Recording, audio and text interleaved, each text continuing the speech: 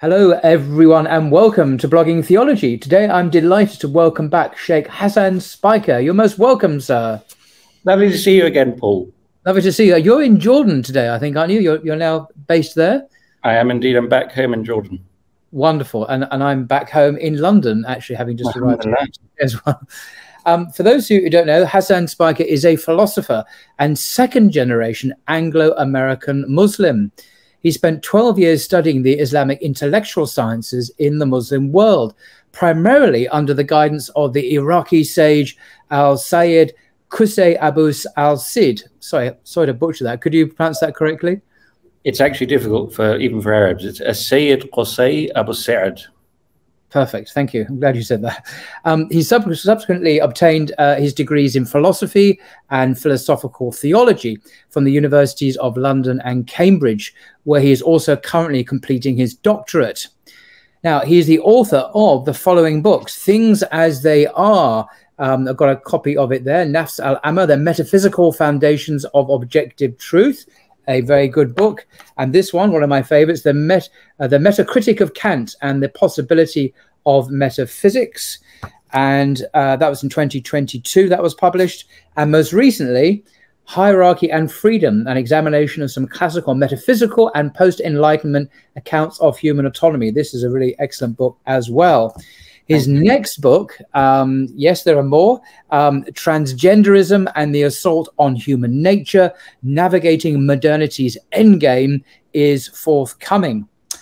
Now, today, Hasan has kindly agreed to discuss uh, his new article titled Transgenderism and the Violation of Our Angelic Nature. It's an extraordinary title. Published in the uh, new edition of Renovatio, the Journal of Zaytuna College, a, a Muslim liberal arts college in California. And I have my, uh, this is the current journal uh, edition, and Hasan Spiker, you can see his name there. Uh, the article appears in this, and we both have our own copies, hot off the press. And um, I'm going to link, by the way, not only to uh, the journal below, but also to the article from the journal, which you can read for free. And um, little plug for this uh, extraordinary journal, by the way. Uh, the current edition has some amazing articles. For example, one of them, The Untold Stories of Enslaved African Muslim Women in the Americas. Uh, the Untold Stories of Enslaved African Muslim Women in the Americas. An extraordinary account uh, of of this. A lot of this history has been airbrushed away. It's been recovered now. Um, another one I really, uh, one of my favorites as well. What walking can do for our souls. I love walking. What walking can do for our souls. What a fabulous uh, title. Um, so I'll link to uh, this as well. You can get uh, your own copy. Now, in the article um, Hasan's going to be uh, talking about today, um, he provides, I think, a truly devastating philosophical critique of certain ubiquitous materialist ideologies that demand a radical rethink of traditional concepts about gender, sexuality, and the family, and how Hasan sees these as premised on the assumption of a godless universe. And he critiques in this article such seminal thinkers as Karl Marx, Frederick Engels, Jean Paul Sartre, Simone de Beauvoir, and Judith Butler, and notes the egregious impact their thought is having on our society and calls on us to what he calls, quote, the healing and liberating truth offered by the tools of the Islamic tradition, end quote. So, over to you, sir. Jazakallah khairan. Bismillahirrahmanirrahim. Allahumma salli wa sallim wa barik ala Sayyidina Muhammad. Wonderful. Um, so, transgenderism and the assault on human nature, mm. um, which is the title, in fact, of the forthcoming book. So, I'll set out straight with this quote from quotation from John Stuart Mill. He says that theoretical philosophy, which to superficial people appears so remote from the business of life and the outward interests of men, is in reality the thing on earth that most influences them and in the long run outweighs every other influence. Wow. And I just want to highlight this quote because the approach I'm taking in this presentation, in the article, and in the book, inshallah ta'ala, is a little bit different from what may be familiar from the gender on discourse, the very voluminous uh, discourse on gender. Did I just say gender on discourse? Discourse on gender and transgenderism that is currently flooding the internet and academic publications and so on, newspaper articles, because those treatments and the discourse tends to be very, very highly charged in a political sense. Mm. It's really an argument between left and right. It's an argument between the liberal and the conservative, between Democrat and Republican. Um, I always like the the saying. I think it's very apt that the conservative person is that person that thinks and acts in exactly the same way as the liberal, just slower. and this is the problem. Mm. It's the kind of impasse of the contemporary discourse. It's very tribal. It's, well, I'm going to be on this team, you're on that team. Why? Well, neither side is able to provide very good reasons. It's really moralizing fundamentally um, mm. and political partisanship. And that can really only take you so far. I think the way to break the impasse is to realize that the claims made by transgender ideolo- you know, ideologues and proponents of gender fluidism are truth claims. They're either true or false. And they actually rest upon a very long philosophical genealogy and, and, and, and pedigree of really quite linear influence between key thinkers in the mm. emergent modernity. Yeah. And so this is the hope with the work that I'm carrying out on transgenderism that it will empower Muslims and other interested people to really come to their own conclusions about this extraordinary new phenomenon based on the real philosophical arguments that that underpin them. Mm. And as Mill's saying here, you know, we can we dismiss philosophy at our own peril because we will be influenced by philosophy by that trickle down, whether we know it or not. But we can either have someone else doing our metaphysics for us, blithely unaware of what's going on, or we can participate in the conversation ourselves. So the first phenomenon I'd like to discuss here, which I think is really, really integral, is the transferal of the attributes of divinity to the free, self determining individual knowing subject. The transferal of the attributes of divinity to human beings as being one of the fundamental philosophical drivers of going of what's going on today. And it sounds like hyperbole, it sounds like exaggeration. It's really not. Mm -hmm. This is precisely what's going on. And, and inshallah, in what follows in this section, we'll, we'll substantiate that and see exactly how that works. Yeah. So just to illustrate this principle, there's a little quotation from the article. So transgenderism, which I'm calling the central sacrament of the religion of dying postmodernity, and I asked the question why is opposition to gender fluidism singled out for such focused, violent, and vituperative attack rather than other possible obstacles to radical self free self determination in defiance of authority, such as opposition, opposition to, say, incest or euthanasia? Yeah. Why is the doctrine of the plasticity, fluidity, and instability of gender imposed with so fervent and anxious a frenzy worthy of the Inquisition? Mm. It is because the act of sacred transmogrification constitutes the supreme right and indeed sacrifice of the religion of dying postmodernity. A religion that represents the dramatic finale and death throes, the veritable Götterdämmerung, I think that's the first time I've ever said that, of the Western intellectual tradition itself, you know, the twilight of the gods. I had to, I had to look that up because uh, it Götterdämmerung from Wagner's opera, isn't it? The Ring. It, mean, it means the twilight of the gods, the death of the gods, basically in Absolutely. German. It's a German word, obviously. Yep. Of Sorry. the end, so it's it's a it's no, thank you. It's it's the twilight of the gods of the Western intellectual tradition itself. Yeah. Reverence for the communicant that is, the post operative transitioner, and celebration of his, her, their sacrifice, mm. for they died to their dead names for the sake of our freedom, becomes a quasi theurgical sacrament, a sign by which one's self creation might alone be worshipped, such that one's true status as, as unrestrictedly, ontologically free becomes finally revealed before our very eyes as sole and unquestionable absolute reality.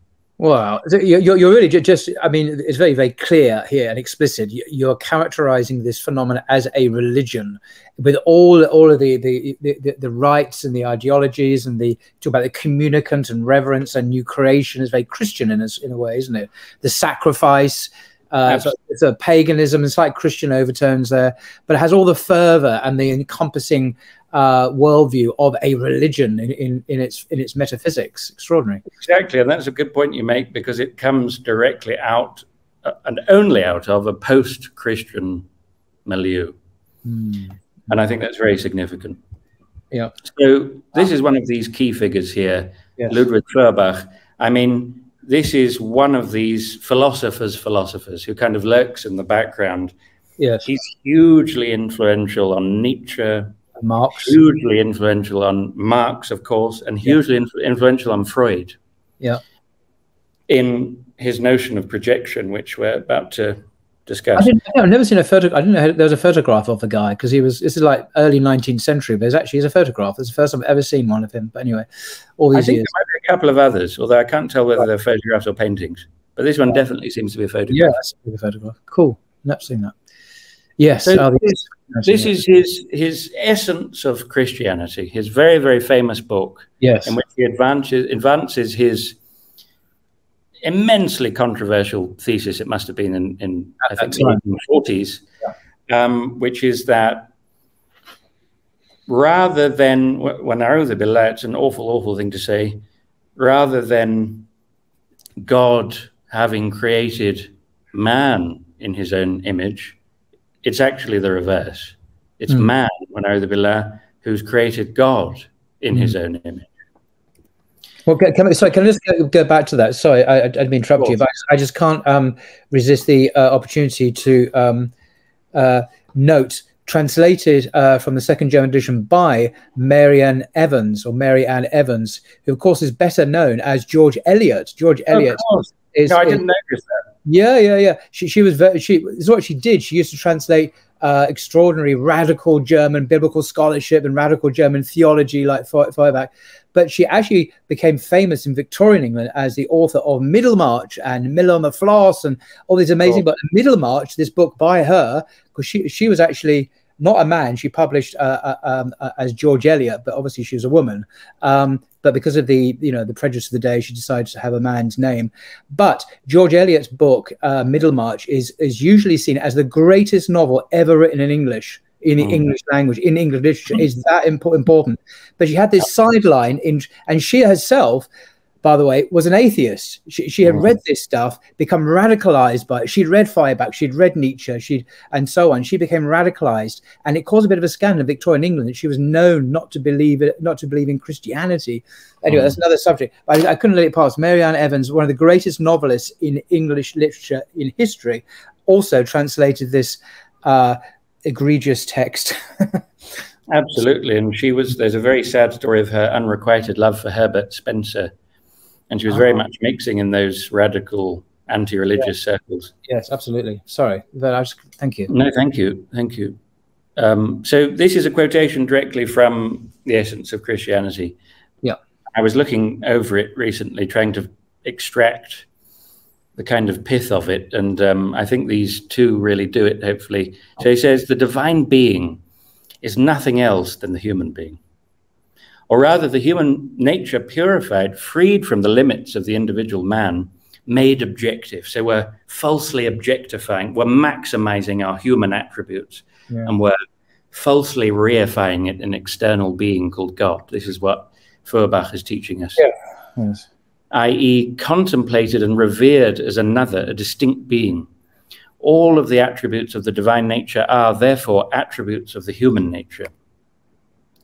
Man, this is the mystery of religion, projects his being into objectivity, makes it into an object, So the subject makes himself into an object and then again makes himself an object to this projected image of himself, thus converted into a subject. So he makes himself an object, as it were, looking through God's eyes that he's just created. Mm-hmm. He thinks of himself in an object, is an object to himself, but as the object of an object, of another being than himself. So we're jumping now to a statement of the fundamental change, which is really crowned by postmodernism. We'll fill in lots of the gaps as we proceed with different sections of the of the discussion. But this is a this is a kind of summation of the influence, the end result, the logical end of the principle that we've the principles that we've just seen expounded by Feuerbach. And it will give an indication of just how influential Feuerbach has been, Feuerbach has been, and just how the extent to which via Nietzsche, via Freud, and via Marx, his views have actually shaped the intellectual establishment. Yeah. So this is from a book, Deconstruction in Context, is actually the introduction. And he said, I remember encountering this once in the UL in the Cambridge University Library years ago and being really, really struck by it. So he says, in the wake of Descartes' meditations, modern philosophy becomes a philosophy of the subject. This is one of the first steps. The locus of certainty and truth.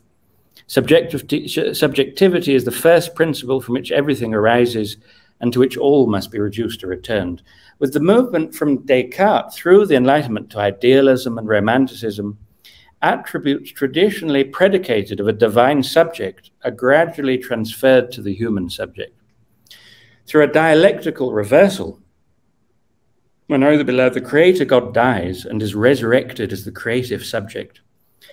As God created the world through the Logos, so man creates a world through conscious and unconscious projection. In different terms, the modern subject defines itself by its constructive activity.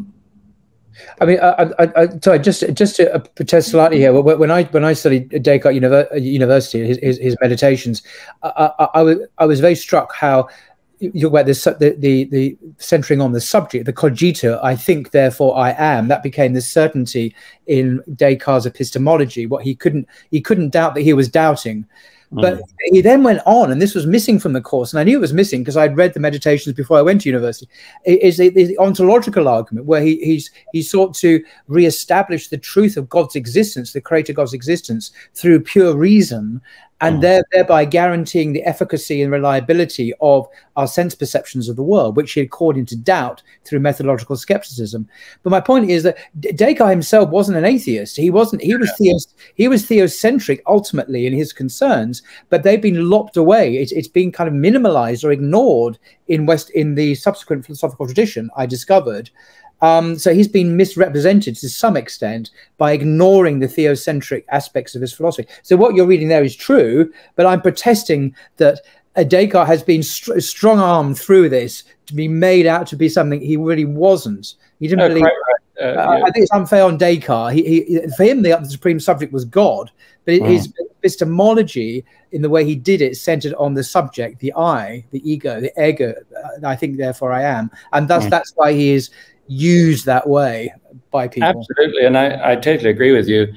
And Descartes is a, br- a brilliant philosopher. People focus in on the meditations, but he considered his most important book to be Principles of Philosophy, which is a, it was a, a metaphysical and physics textbook.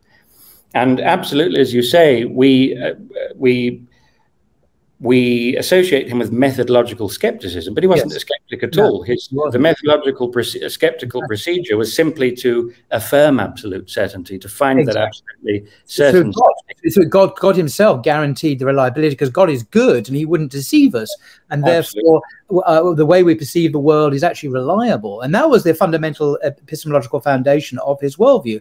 But you wouldn't kind of know that reading that paragraph, although what the paragraph says is true. There's, there's a way Descartes has been used in, in, a truncated form to for this movement that you're describing. Yeah. Absolutely, and it's the way he's being used, and I think it's it's a consequence really of what they call the Cartesian split Yeah. And so it's this idea that there's a radical bifurcation between subjectivity and objectivity. Mm. And what's out there in the world is just extend, extended substance, is just yes. mathematically analyzable body. And therefore, it almost drives a wedge between man's subjective appraisal of the contents of his own mind and exploring that subjectivity and this kind of hypostatized external world, which is just extended, it's just mechanical, brittle yeah. kind of stuff. Yeah. Um, and I think, yes, that's the way that he can be misused yeah. and has been misused. I think he has. Thank you very much for tolerating that. No, uh, it's very enriching. Please um, continue to interject and enlighten us. You're very kind. Um, so we're going to go through various different stages and and um, and sections in order to try to get to grips with these metaphysical foundations. But I think before we proceed any further in that, it's just probably a good idea to recap and summarize basically our our present situation. Mm. Um, you know, the the dominant mainstream views which are now being really enforced, frankly, as I think we're, we're all becoming increasingly aware on really the normativity of gender fluidism. Um, mm. So the inversion of sex and sexuality.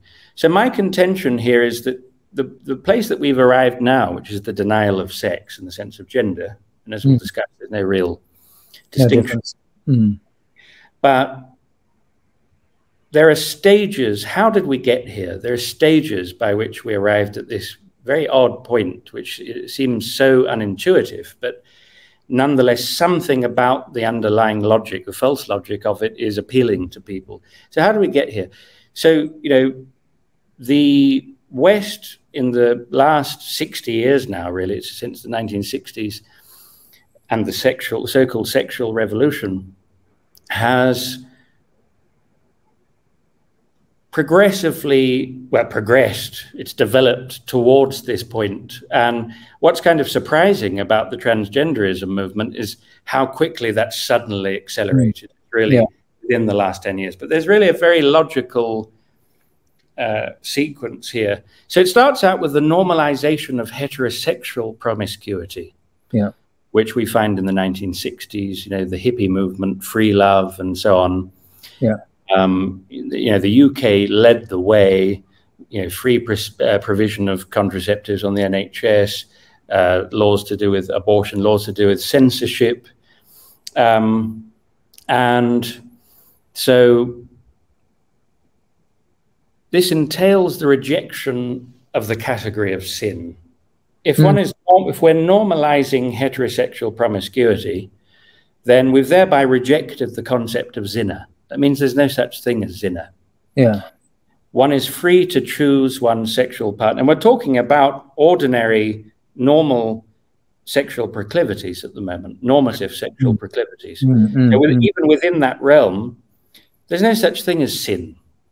Yeah, it used, it used, to be called when, when two, a man and a woman who were not married lived together. It used to be called living in sin. And Living this is very common.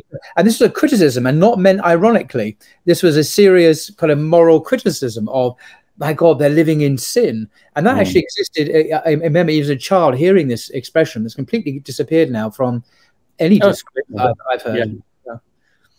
I think children growing up in, in the West, you know, it's this race, as you know, for people to lose their virginity in secondary schools at, you know, 13, 14, 15 they're becoming used to promiscuity.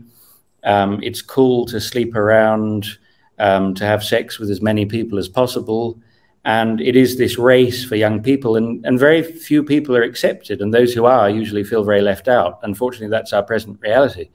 When I was 14 in year eight in a very normal school in Cambridge, a girl got pregnant um, at the age of 14 and had to leave the, the school. And, um, you know, that was in the 90s. Um, and things have advanced, if you want to call it advancement, a great deal since then. But the point is, how do we move from the normalization of promiscuity to the denial of heterosexual normativity? Well, it's exactly in this idea of the rejection of the category of sin. Because you then think, well, if there's no such thing as sin, surely I should be free to extend my desire to whatever I feel like. There's no sin anyway. So if promiscuity is acceptable and it has nothing to do with the heterosexual premise of that promiscuity, but it's rather than just the free exercise, really the arbitrary exercise of one's sexual desire, then why not extend it to something else? Because it's simply another object of desire. One can desire whatever one wants, part of one's freedom. So the moral neutrality of the extension of desire to other forms of promiscuity, it's all simply a matter of choice. So the next phrase is the, the next stage is the denial of heterosexual normativity. And this is something that Foucault, as we'll see, was very, very big on. Um, and in fact, let's go to this little quotation at the bottom, which is from um, Butler's, Judith Butler's uh, very, very important book, Gender Trouble. Um, she says Wittig uh, concurs, Monique Wittig, however paradoxically with Foucault, in claiming that the category of sex, as in gender, would itself disappear and indeed dissipate through the disruption and displacement of heterosexual hege hegemony. Hegemony. So, wow. how does this work? Right. And of course, we're not saying it really works in reality. We're saying there's one can glean a certain false logic that has led people, has led to the widespread sense of the plausibility of these changes. So, mm. Why? It's because sexuality no longer presupposes an opposite gender, an opposite mm. sex. So, one is freely discharging one's desire, regardless of of, of, of, of the object of desire. It doesn't matter. What matters is one's freedom and the fact that one has desire and wants to, wants to realize and fulfill that desire. So, in sexual practice, in sexuality, in the, the free exercise of sexuality, I don't know if that's the best way to express it, but anyway, in the free exercise of, exercise of sexuality, the integrity of the genders no longer plays a defining role. Mm. It's not relevant what happens to be the object of that desire. It's certainly not within a binary of uh, male and female and an opposite gender.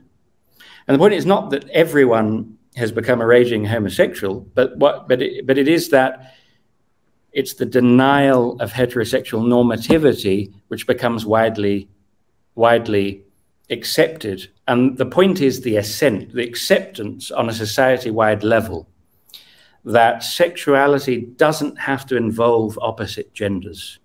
And so the role and importance of the genders becomes sidelined. It's simply one option amongst many.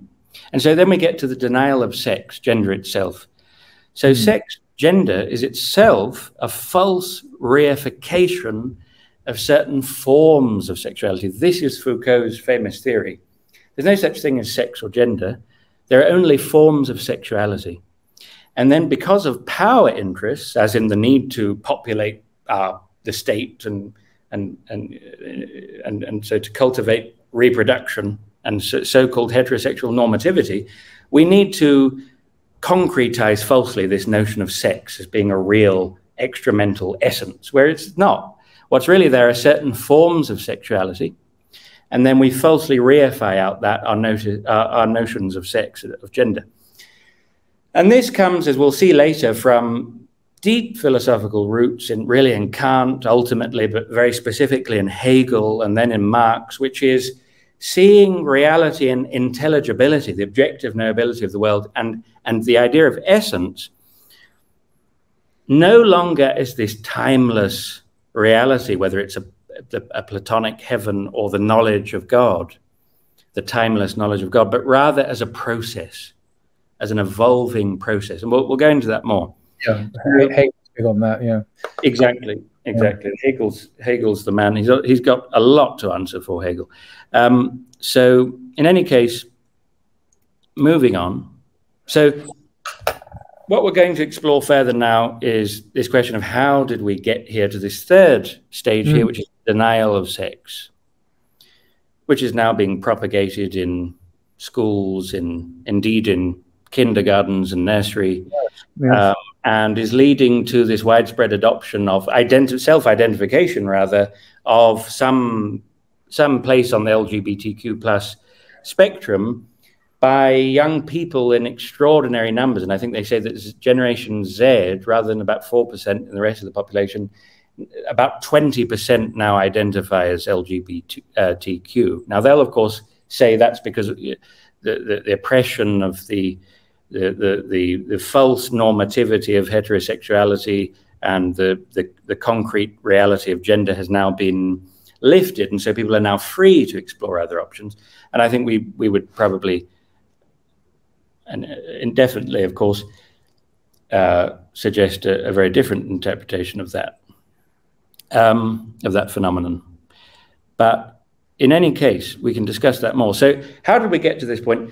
The, we got to this point in terms of ethical and political philosophies that need to be taken into consideration and the metaphysical backdrop as well. Now, what I'm focused on here is really the metaphysical backdrop. The ethical and political really amounts to John Stuart Mill's harm principle, which is that no one has the right to interfere in someone's own free exercise of their self-determining will, uh, except to for self-protection and to avoid harm. So everyone is free to do whatever they want to do as long as they're not causing any harm. And that is a principle that almost any person that you run into and, and, and, and start discussing these issues with, uh, whether it's in England or America, they will, not to be rude, but they'll parrot this principle. There are very few who actually believe it based on, uh, uh, uh, would be able to provide philosophical substantiation. But this principle is very intuitively correct. I mean, as long as you're not hurting anyone, you're free. Who are we to impose our lifestyle on you? And we shouldn't interfere. And, and that includes moral censure. We can't say that you're doing something objectively wrong. We can't say that this um, uh, phenomenon and, and these beliefs, and whether it's active homosexuality or it's uh, uh, transitioning as a transgender person are wrong or, or unnatural or not in accordance with nature, because that's to give a moral judgment, that's to, to treat these things in terms of a theory of the good. And everyone has their own theory of the good. And there's no way that we can impose one theory of the good on others. We're, we're free to adopt our own theory of the good, but there are no objective theories of the good. So it's basically John Stuart Mill's harm principle, and uh, it, it becomes further um, detailed and, and finds different applications in, let's say, uh, Berlin's distinction between positive and negative liberty. Mean, these are things perhaps for another time or another speaker. And I think probably you've had someone on, you've had so many, so many extraordinary meetings um, talking about these features of political liberalism. Um, and then, of course, Rawls and and uh, you know his original state and all of that stuff. And it really goes back very quickly just to the kind of Lockean empiricist assumption that one can't root an objectivist ethical theory, moral objectivism, in one can't provide metaphysical foundations for any such theory on empiricism. Because on empiricism, ethical and well, ethical and, and, and moral properties are simply not empirical properties. And there's no way even in principle to root them. Um, in any case, but, but what I'm focusing on here is the metaphysical backdrop. Now, one of these most important um, uh, principles, again, is this idea that we've we've discussed earlier, that intelligibility in essence is as processes rather than instantiations, that rather it's the contention that intelligibility in essences are processes rather than instantiations, instantiations of timeless objects of divine knowledge. Now, this is presupposed in one we've already seen, which is the transferal of the attributes of divinity to the free, self-determining individual knowing subject. So this, the one we're looking at now, is a later development. What it presupposes is this, intelligibility in essences as processes rather than instantiations of time, timeless objects of divine knowledge. So one of the very, very key figures here is this rather majestic figure, dark figure, Karl Marx. Indeed. So let's have a look at what Marx says. So, so again, I mean, I think is an extraordinary manifestation. This individual is a very, very extraordinary manifestation of what the uh, a, a um, corroboration of what the quotation that we saw from Mill at the beginning, which is people think that theoretical philosophy doesn't really matter. It's just a luxury that ivory tower intellectuals in, indulge him. Well, the ultimate figure who proves that wrong is Marx. I mean, look at how he, yeah. he transformed the world um, on every level as the direct result of his philosophy. So, in any case, so this is coming out of a, of a section of the article. Um, so, we're talking about the rejection of essences the rejection of essences, the rejection of the idea that beyond subjectivity, there is a real world which is distinct in itself, which has intrinsic real intelligibility, real knowability, real objective knowability. And in a way to know the world is to receive in, a, in with a definitely a, a passive, not a solely passive, but a passive dimension to receive intelligibility from the world because it's actually there. Whereas what unites these various views which underpin transgender theory is the idea that there's no real world out there beyond the construction undertaken by each individual human being's subjectivity. So this reached its culmination perhaps in Jean-Paul Sartre's justification for the casting aside of human nature altogether, namely mm. that existence precedes essence. Now we'll go into that in the next slide.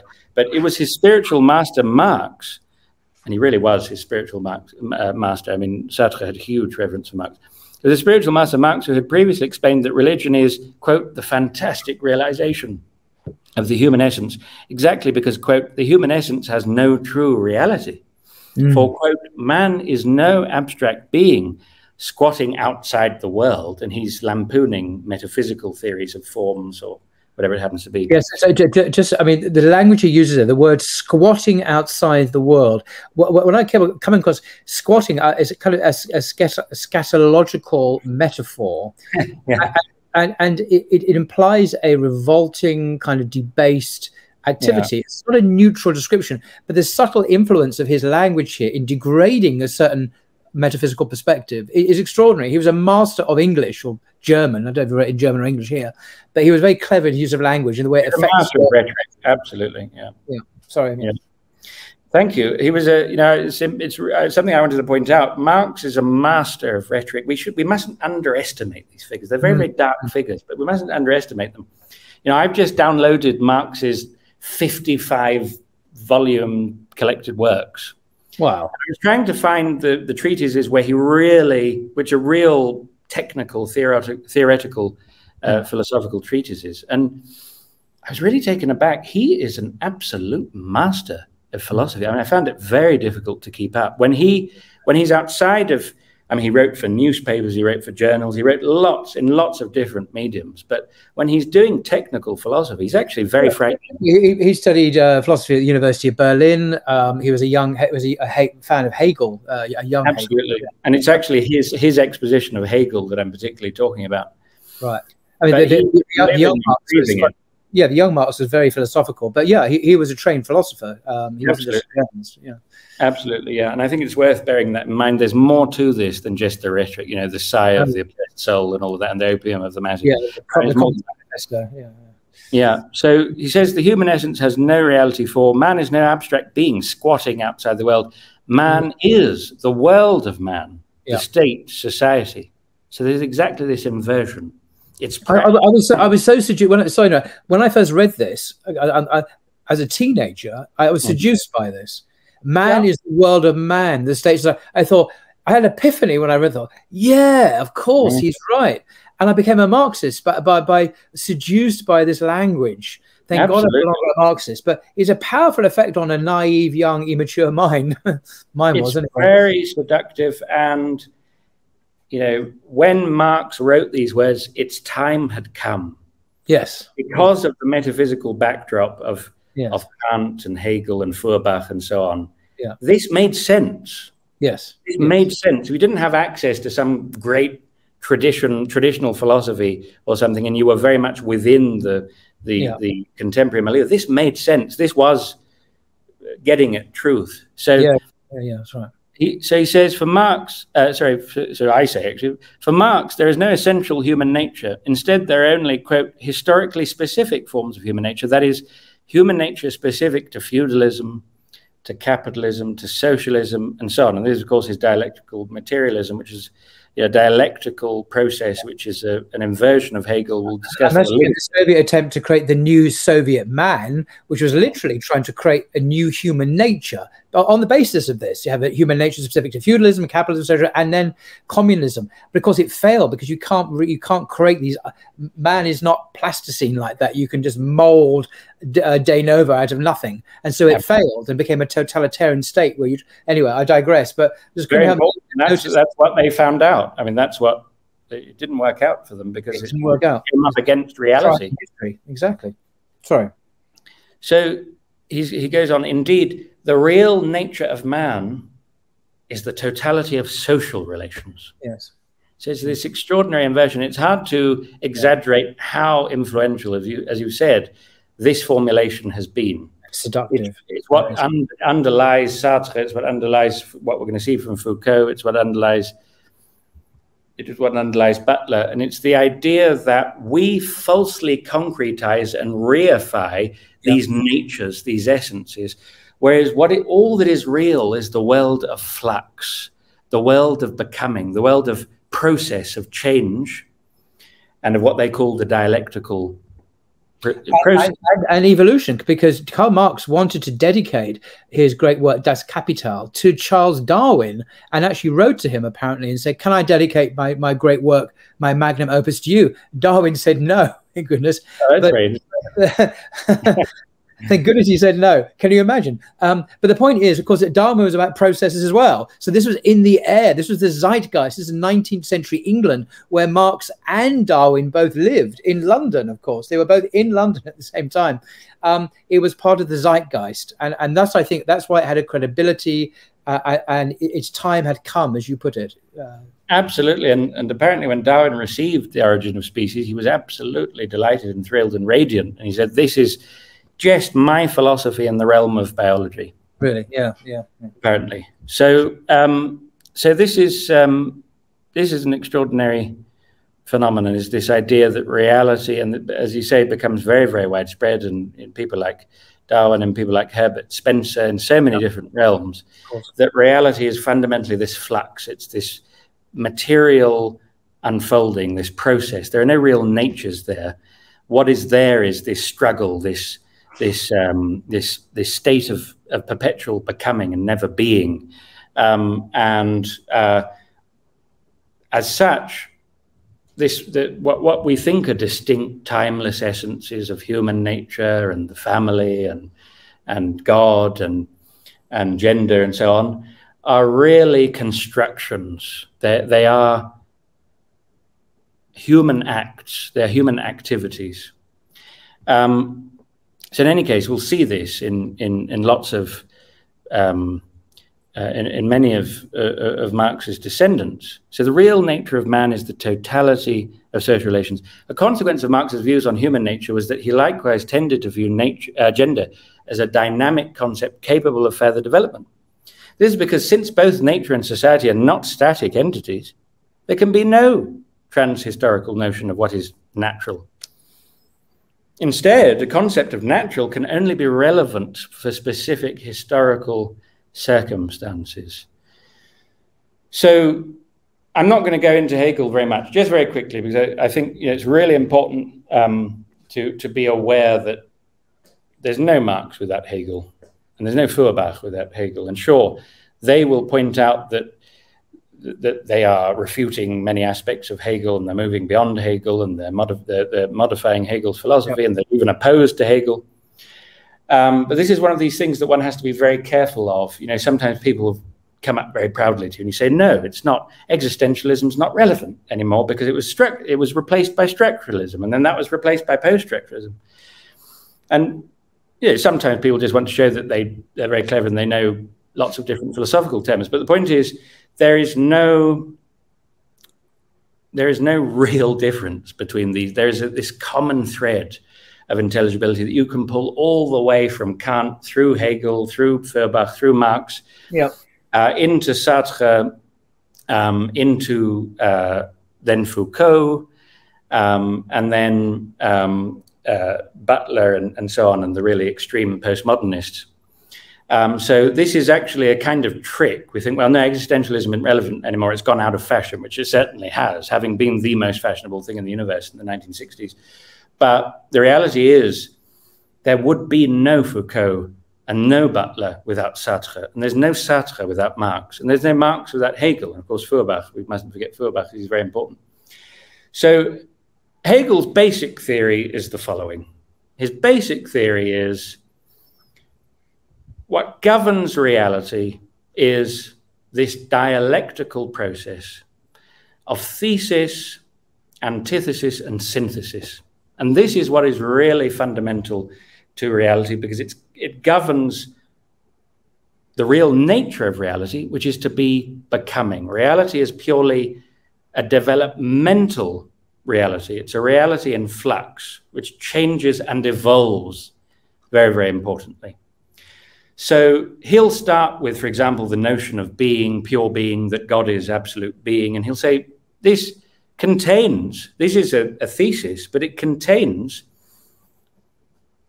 a contradiction, right, which is the antithesis. It contains a contradiction because the whole point of pure being is to be completely indeterminate, right? If it's if you say, well, pure being means all of the determinate things, no, those are determinate things. So, you know, the computer in front of me, the divine name on the wall, the curtains, all of, these are all determinate beings, they're determinate instances of being.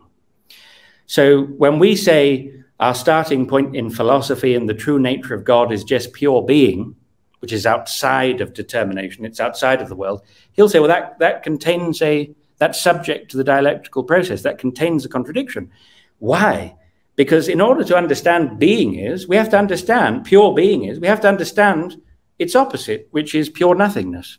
So pure being is not pure nothingness. But pure being is the indeterminate, it's the completely indeterminate. Well, that's exactly what pure nothingness is. Pure nothingness is the completely indeterminate. So then, you know, we're, we're, we're trying to play host to these contradictory notions, and we make progress by going to the synthesis. The synthesis is, well, no, there's no such thing as pure being. All there is is becoming, right? All there, all there is is becoming, which is determinate beings, not being itself, it's determinate beings existing in relation to one another, undergoing, uh, uh, undergoing this temporal process together, right? So everything is in time, everything is temporal, everything is subject to time. But then there's a further stage, which is, well, the further stage, which is, well, determinate being, the notion of determinate being also contains a contradiction. It's self negating, right? It's this very, very Hegelian, it's self negating. Determinate being is self negating because it's only intelligible, it's only has reality by, in terms of being determinate, by being not other than itself. And I'm going to stop very soon. Don't worry for anyone who's for, who's getting who's getting a little bit lost. Um, the, the, the determinate being contains its own negation because what it means to be a determinate being is to not be other is is is is to is to is to not be uh, is to be other rather sorry uh, than other determinate beings right? So the very idea of determinacy has to invoke the idea of other determinate beings. And those other determinate beings are in this state of constant struggle and war against one another. All of these determinate beings, because they're finite, right, they are always pressing up against each other and basically locked in this struggle for, for survival. Because the determinate being can only exist in the conditions, right, of, exact, for example, I mean, the, the exactly right physical circumstances and conditions and variables which allow us to exist uh, on Earth, for example, all of those factors, all of those variables are also themselves determinate beings, which have their own finitude and their own sense of uh, uh, uh, uh dependency on everything else, right? So the point is, everything is is negating itself ultimately and devouring itself just by being finite because it's trying to self actualize and there's no way that it can fully self actualize. We have a finite lifespan. We are subject to all of these environmental and personal and social constraints and limitations which press upon us. Everyone else also wants to get their piece of the pie, also wants to make their own way in the world. And so this constant struggle. And this is exactly the dialectical procedure. Um, so there are no essences for Hegel in the set in the traditional sense, which is really universal to traditional uh, civilizations, whether one is a, a, Christian Thomist or one is a traditional Platonist or one is a let's say a Muslim Avicennan or a, or someone who's who adheres to various forms of kalam, that in the intelligibility of the world, the reason that the world is objectively knowable and their real essences is because that intelligibility and those essences are not contained within the individual, within the determinate instance. Those are just merely instances. They presuppose that timelessly those essences exist. They are actually prior. The intelligibility of the world, the essences that make up the world, yeah. actually exist timelessly prior to their emergence in, in what, what, yeah. what we can call the, the, the realm of becoming. And there's a debate about, because Hegel identified as a Christian, of course, in his day in 19th century Berlin, where he was uh, a very esteemed professor of philosophy, of course. Um, but what kind of Christian he was is debated. Was he a, a pantheist? Was he a panentheist? There's a distinction, oh. of course. Uh, but he certainly wasn't, I don't think, uh, in any way an Orthodox Christian in the Lutheran sense, let alone yeah. in the Thomist sense or anything like that, because mm. of what you said. Uh, the, the Geist, the spirit, was very much immanent in the process of history itself. Uh, and, and, what, and, what, Marx famously did, he inverted Hegel's uh, whole metaphysical structure, if you like, turned him on his head, as he put it. And and uh, that's another subject from idealism to to matter, material processes. Exactly. Really, um, anyway, that's very no, that was very clear, Hasan. Thank you. Very interesting. That's very kind of you, Paul. I I, I um I found what you said much clearer, and I I, I wish we'd just stuck with what you said. It was only about ten sentences, uh, ten words, and it was yours. Exactly. That's because you probably understand it much more than I do. But in any case, moving swiftly on, let, us yeah. go to the um to the if you don't mind, sir. Oh no, I can do it. Oh, yes, oh, I, I, uh, no, indeed. Oh, oh, oh, oh yeah. That was a picture um, of Sinatra there for a second. okay. Yeah. Mm. So we've done Marx. Um, Marx yep, is a version of Hegel. He keeps the yep. centrality of the dialectical process in existence, but it becomes a purely material process. Um, and oh, there Jean Paul Sartre, yes. Student. Indeed. So we are proceeding along our journey towards understanding what's going on today in terms of transgenderism. And another very, very key figure is Jean Paul Sartre. Just want to mention, by the way, for those who don't know, uh, he died in 1985. He was a Frenchman, a Jewish Frenchman um, who won the Nobel Prize for Literature, of all things. Um, but a very uh, one of those great French intellectuals, um, incredibly famous in his day. Uh, um, there's still footage of his funeral, I think in 1985 in Paris, hundreds of thousands of ordinary Parisian, Parisians lining the streets because in France, of course, philosophy is uh, you know a popular subject amongst the general population, not just a ivory tower pursuit. So he was very famous uh, as a political activist, as a dramatist, a playwright, and a philosopher, amongst many other things. Anyway, that was just to say who he was. He wasn't German; he was French. yeah, so it's the it's the German and the French. It's those. Um... Yeah, it's, there's, Um, oh, this is this is this uh, existentialism and humanism? Oh, it is. Yes, it is. Yeah, yeah. I was just going to say, let's not risk a, a, British joke about the German French. In any case, um, what do we mean by saying that existence precedes essence? So this is Sartre's mm. very, very famous um, principle statement, which is very much associated with um, yeah, in that book. Yeah, I, yeah. I was. I just say I just dug this out from my bookshelf. This is my old dirty copy of Existential Humanism. Uh, when I was about sixteen, um, I read this, and uh, briefly I became a disciple of Jean Paul Sartre uh, in, in my head. Did, yeah. And uh, again, like Marx, very seductive. Uh, I found him very seductive as a Absolutely. teenager, anyway. Yeah. And th this horrible old copy, which I've not touched since, and I will probably bin ultimately because I'm not going to read it again, um, having sucked the marrow out of it. And I'm, I, I know what he thinks, and I don't agree with it anymore. But um, you could auction it because that looks like a. What for a couple, couple, of couple of p, a couple of dollars? Yeah, won't be won't even be worth that. But um, if you must read it, do read it. It is it is readable, um, uh, but uh, it is important in terms of the genealogy of the situation we're in, the the pedigree of the ideas, as you put it, of, of how we get to where we are, is to understand people who author things like this back in 19 published in the 1940s, just after the war, actually. Absolutely, yeah. Um, so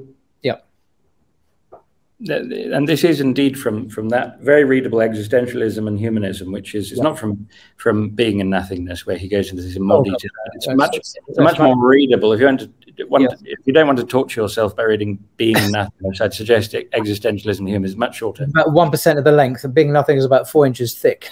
exactly, exactly. Mm-hmm. So it's this famous principle uh, that existence precedes essence. Essence, and you would have, you know, 1960s students at their demonstrations, they would have been you know, excitedly parroting this principle, uh, probably having no idea what it meant. Meant, but um, in any case, we we mean that man first of all exists, encounters himself, surges up in the world, and defines himself afterwards.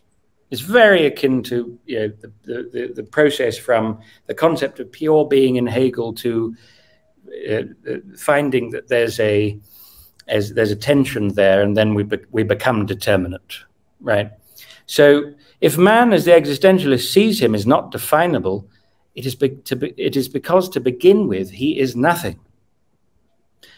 So it's a, it's an extraordinary form of nihilism nothing. It's also John Locke's blank slate, isn't it? That we have no human nature. We have we have no particular humanity. We, we are we are formless. We we are nothing, and only mm. in our being thrown into the world. To, use, uh, you know, Heidegger language, do we mm. become something?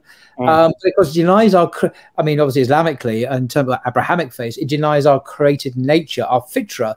This is all hellish stuff because it, it it, it robs us of our birthright. Is to be creatures uh, of the creator. But I don't anticipate what you're saying. But no, yeah, can I just say that? Um, can I just say that it's a common mistake, I think, to believe that somehow there's this very, very stark difference. That just you know, never the twain shall meet completely different things. You know, British empiricism and this continental style philosophy. It's not the case. There are mm. a lot of empiricist uh, assumptions um, in you know even in this very different stream. John, John Locke. It, it, this is pure. John Locke could have. Well, anyway, it's another subject, but anyway, I'm not going to go there. Okay, let's. Well, uh, in in that case, we'll, I'll go on reading. So he will not be anything until later, because he's just said to begin with, he is nothing. Exactly. He will not be anything until later, and then he will be what he makes of himself. So it's the construction. Of human nature in every case, and every individual is to construct their own human nature. Thus, there is no human nature because there is no God to have a conception of it. Because there is no God. It's denial of God is the heart of this. Precisely. But what I find extraordinary about this is Sartre really did understand philosophy. Exactly. And he understands that he is rejecting that traditional metaphysical framework. He's, he understands that if the essence of human nature doesn't exist timelessly, it doesn't really exist at all. Exactly. And that's what Nietzsche, Nietzsche understood that point before Sartre, of course. Um, mm. Yeah. Absolutely. So he says, man simply is. Not that he is simply what he conceives himself to be, but he is what he wills. Right. Mm. So this, again, this prioritization of the will, which is very characteristic of, of everything that we're discussing. And as he conceives himself after already existing, as he wills to be after that leap towards existence, man is nothing else but that which he makes of himself. Exactly. So then we go to his consort. His partner. yeah. Is yeah, that the right? What is, what is the right? I've never quite. I mean, they weren't actually married, were they? I don't think. No, they weren't married, and they, they were early proponents of the of the open relationship. So they were living. In, sorry, just to clear, they were living in sin. Then we need to be clear on this. They were living in sin, and they thought it was all right to allow. I mean, they, they, they didn't mind multiple partners in that. So they oh, they, they were they were early proponents of what what now, of course, is called the open relationship, very famously. So um, anyway, his partner, I think that's right, Simone well. Now, she's very interesting because now there's she's the last step before we get to explicit yep. transgender theory in Butler, right? So she builds and really presupposes, she modifies certain things, but that shouldn't blind us to the fact that they're fundamentally the same. Uh, she presupposes Sartre's philosophy and that of Marx and that of Feuerbach and that of Hegel and so on, with modifications. I'm not saying they in any way they wholesale adopt uh, Hegel, Hegel's philosophy. Of course, they don't. But with, with you know, the continuity of certain key principles. Yeah. And her very, very important contribution to all of this is her distinction between sex and gender. Yeah. And so what you'll find today, so again, it's it's very much presupposing this kind of bifurcate, this you know, this almost Cartesian split. You know, sex is anatomy, and it's really very boring, and it's just physical it's just physical formations. Um, and they're really neutral in terms of interpreting what they are. This is the whole point. Everything else is interpretation. And that's what gender is. So sex is not a determinant of gender, right? Gender is your self presentation in terms of certain human patterns, certain human properties, of usually in terms of femininity and masculinity and the traditional understanding is there's no real distinction, right? What they are calling gender are simply the social manifestations and concomitants of, of sex, of being either male or female. But her, her distinction is very important. It comes out as a theoretical uh, uh, presupposition of her feminism. And so she's also a very good writer. I mean, these about these. Oh, it's very good. There's a wonderful interview. Uh, you can see. It. I saw it on YouTube a few months ago. It's in French, but with English subtitles. Been interviewed by oh. this fairly fawning young kind of Parisian journalist, where she explains all this, but she does it in in a you know in a way that you know very, very impressive in terms of her eloquence, her charisma. Oh, yeah. Uh, quite seductive again if you're kind of naive enough to just buy into this whole philosophy. But yeah, uh, again, she was uh, Sartre's equal in many ways. Yeah. Absolutely. Yeah, very, very much so. So, mm. if the publication, this is from the article again, if the publication in 1990 of Judith Butler's Gender Trouble, which we're going to get to next, marks the watershed moment for the gender fluidity movement that dumbfounded readers in the first decades of the 21st century, Sartre's consort, partner, Simone de Beauvoir's pivotal 1949 work, The Second Sex, was its seed. So, this is all in this very tumultuous, uh, immediate post-war period where everyone's kind of what's just happened. I mean, what's come come of human nature, the, the terrible crimes that have been perpetuated the names of these uh, ideologies and so on. And it's a very it's a it's a, a time where people are very very susceptible to, to, something radical and new, especially if it has this kind of ethical coloring. Um, but in any case, Sartre's concept, Simone de Beauvoir's pivotal work, The Second Sex, was its seed. So it's the seed of all of this transgender. It doesn't explicitly develop it, but it's it's there's a very clearly traceable element. So in the imposition of coercive liberalism on the manipulated individual in the creation of a tyrannical majority, the repudiation of human nature and the complementarity of the sexes is a key article of faith. So it's very important to believe that there's no human nature and that there's no real complementarity between the sexes. That's all oppression. That's all power interest. That's all. Uh, false projection. So the, the, the Beauvoir's famous opening lines are a telling summation of her project. Again, it's it's it's uh, you know almost akin to what we saw from Marx. It's very satirical. It's very um, she is really mocking these traditional institutions. Is femininity secreted by the ovaries? Is it enshrined in a Platonic heaven? Again, what we just saw from Sartre in terms of you know, there's no there's no real human nature because there's no God to have a concept of it. When, when is a frilly petticoat enough to bring it down to earth? Although some women zealously strive to embody it, the model has never been patented. It, was, it is typically described in a vague and shimmering terms borrowed from a clairvoyance vocabulary. So it's this, this sense, this implication that people who are talking about real essences, they don't have epistemological humility. Um, they think they're clairvoyant somehow. They know everything. They can penetrate into the real essences of things. And this is depicted here as very implausible. In St. Thomas's time, it was in essence defined with as much certainty as the sedative quality of a, pop, uh, a poppy.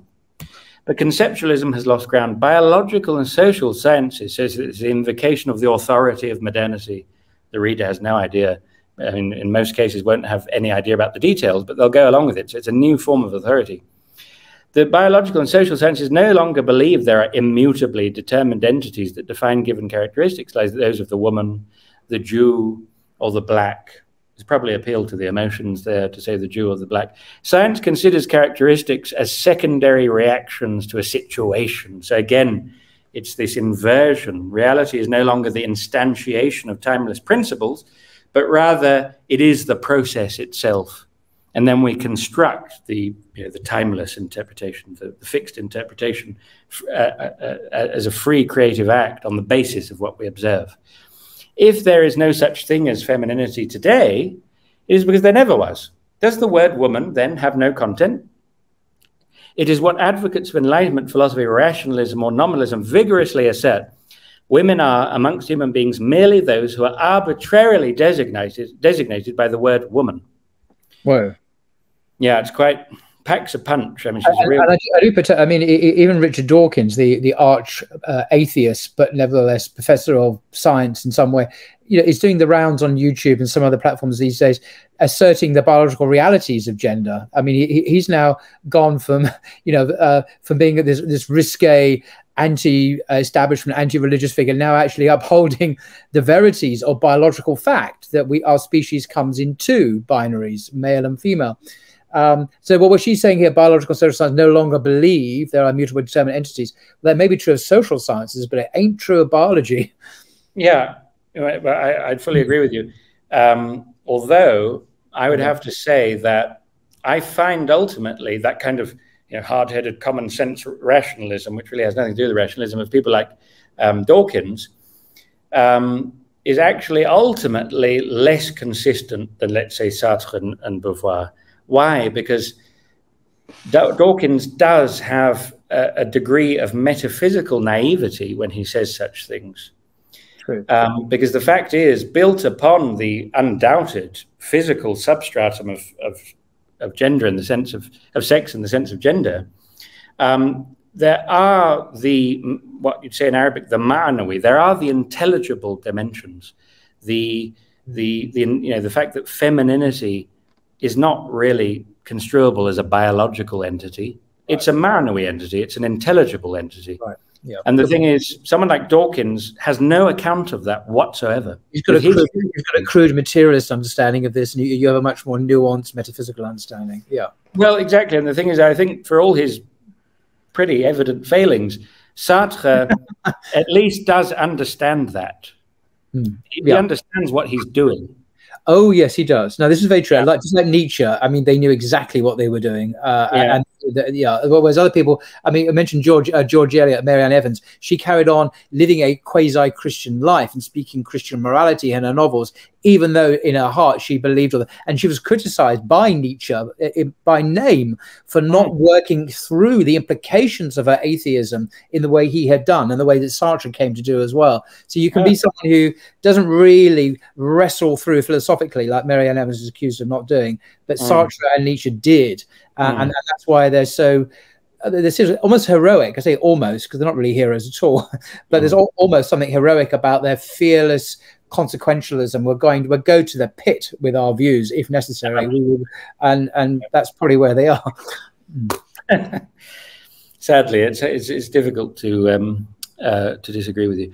So, of course, de Beauvoir is at pains to point out that woman does exist. She exists as a social construct. Mm. She does exist, it's just as a social construct. As she tells us, one is now. This is a very famous statement of hers. One is not born, but rather becomes a woman. Now you can see how there's there's, there's uh, there are barely any steps left now to where we're to, to, the present day. One is not born, but rather becomes a woman. With this thought, we encounter the ne plus ultra of so called self determining individual freedom, which has been this fixation, really, yeah. of, of, of post Enlightenment Western thought from Kant onwards. And its yeah. advanced contemporary reading. Although one is surely an individual of a nature in the sense of essence, but not to be constrained even by one's nature because the nature is not real. You know, it's the it's the totality of social relations or whatever formulation one chooses.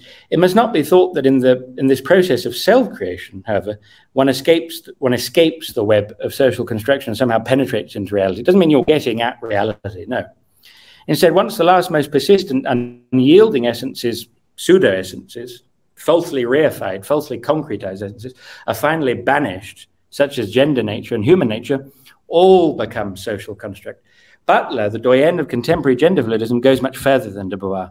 So we're now we finally got got there. Employing de Beauvoir's distinction between sex and gender, Butler holds that it is not merely gender that is a social construct, but sex itself. Right, and that's why what we consider to be self mutilation, that that sacred transmogrification, is actually possible and it's real. So Oh, I thought we were getting to Butler. Sorry. That's he got in the way. He got it. He's always getting in the way, Foucault. That's yeah, he is nowadays. I'm afraid he's everywhere. Absolutely everywhere. Um, yeah, so we're going to have to deal with this is my least favorite part of it. But anyway, the, get to Michel Foucault. So this is from the last chapter of his very famous History of Sexuality. Um, this is the, the last, sorry, in his last chapter of his first volume. Um, and this is really his flagship idea, his flagship, his like pivotal contribution to this whole downward spiral. Um, and it's, it's, usually not easy to pinpoint. And what, what was Foucault actually saying? What was his actual contribution? Mm. It just seems this kind of very highfalutin, very kind of conditional sophistication for sophistication's sake. But it is possible to glean a real, very, very distinct contribution to to the development of, of gender fluidism theory. Um, and so he says, he says, it is precisely this idea of sex in itself, which he doesn't accept at all, by the way, that we cannot accept without examination. He thinks it's a fiction. He's about to say it's a fiction. Is sex, and this is in the sense of gender, of course, is sex really the anchorage point that supports the manifestations of sexuality? Or is it not rather a complex idea that was formed inside the deployment of sexuality? And we alluded to this earlier. This is his key idea. And again, it's the same Hegelian Marxist inversion. Practice and process are primary. Those are what are real. We construct fixed realities out of them, but they're not what's real. Mm-hmm. So, what's real is the deployment of sexuality, which is fundamentally in itself neutral. It's arbitrary. It mm. doesn't presuppose sexes. It actually creates sexes in the sense of genders with the help of the exercise of power interests, mm. right, of the state, of whatever, who wants, you know, to create this idea of you know, the, this what they would consider to be this this very crude, merely traditional idea of the family, where there's you know the monogam monogamous, um, uh, uh, you know, um, man and wife who who uh, stay together forever and, and raise a family, and this is the natural state of affairs and so on.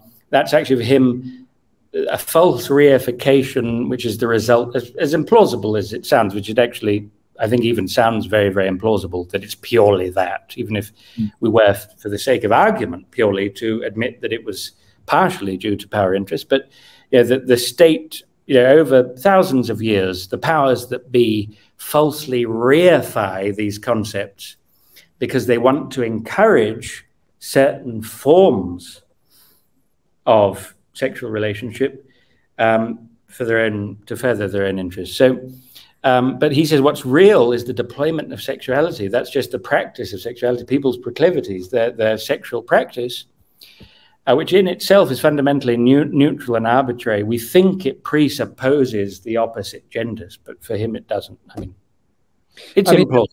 Mean, I, I, know this is just kind of the genetic fallacy, but I, I, I can't help but think that he himself, Foucault, was, as he would put it, a gay man who was was known to frequent the um, certain places in San Francisco uh, uh, which transmitted HIV, and he died of AIDS. I mean, yeah. I, I mention all this not to to blacken his name or something, but but this yeah. kind of chaotic, anonymous, promiscuous, detached.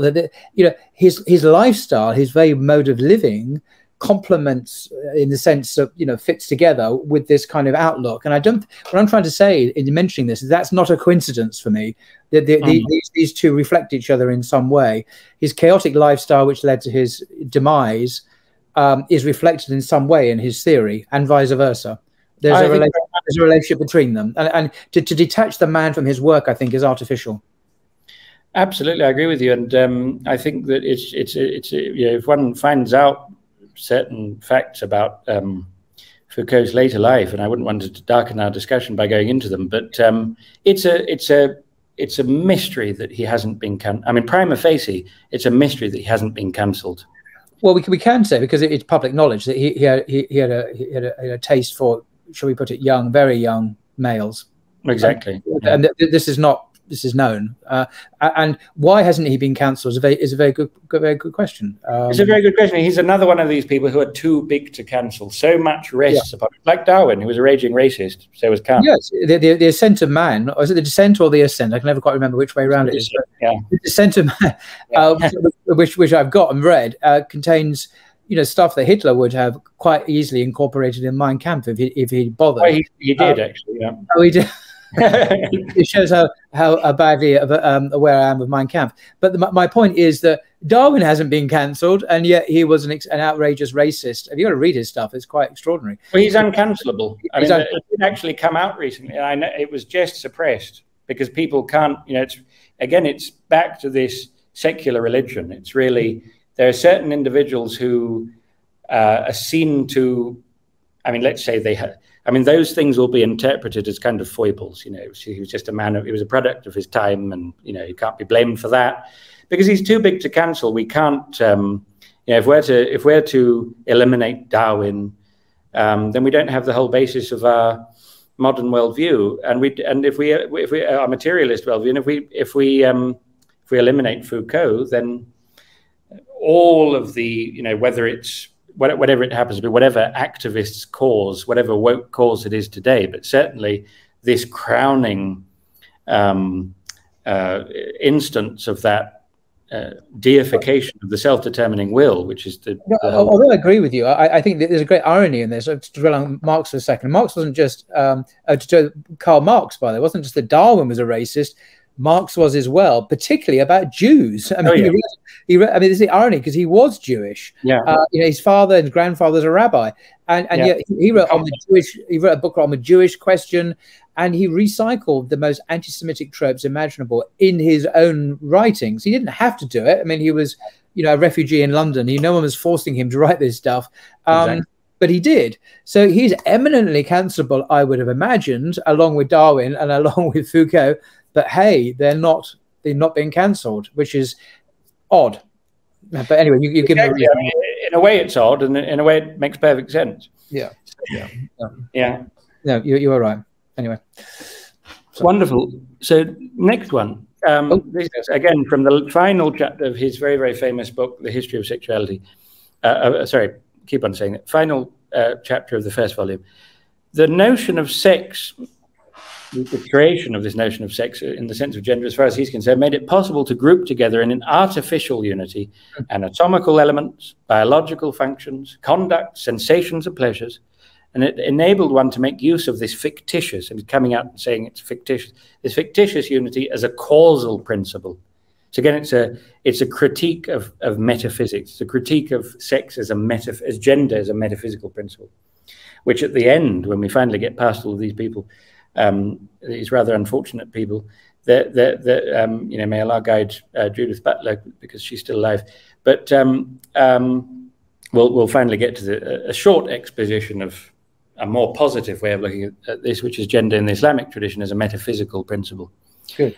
So, uh, an omnipresent meaning a secret to be discovered everywhere. Sex was thus able to function as a unique signifier and as a universal signified. And then another place, on the contrary, sex is the most speculative, most ideal, and most internal, ele internal element in the deployment of sexuality organized by power in its grip on bodies and their materiality, their forces, energies, sensations, and pleasures. So he wanted us to free us from these false restrictions so we could return to almost a state of nature, which is this arbitrary deployment of sexuality. And that's why he thought this was more early. Yeah.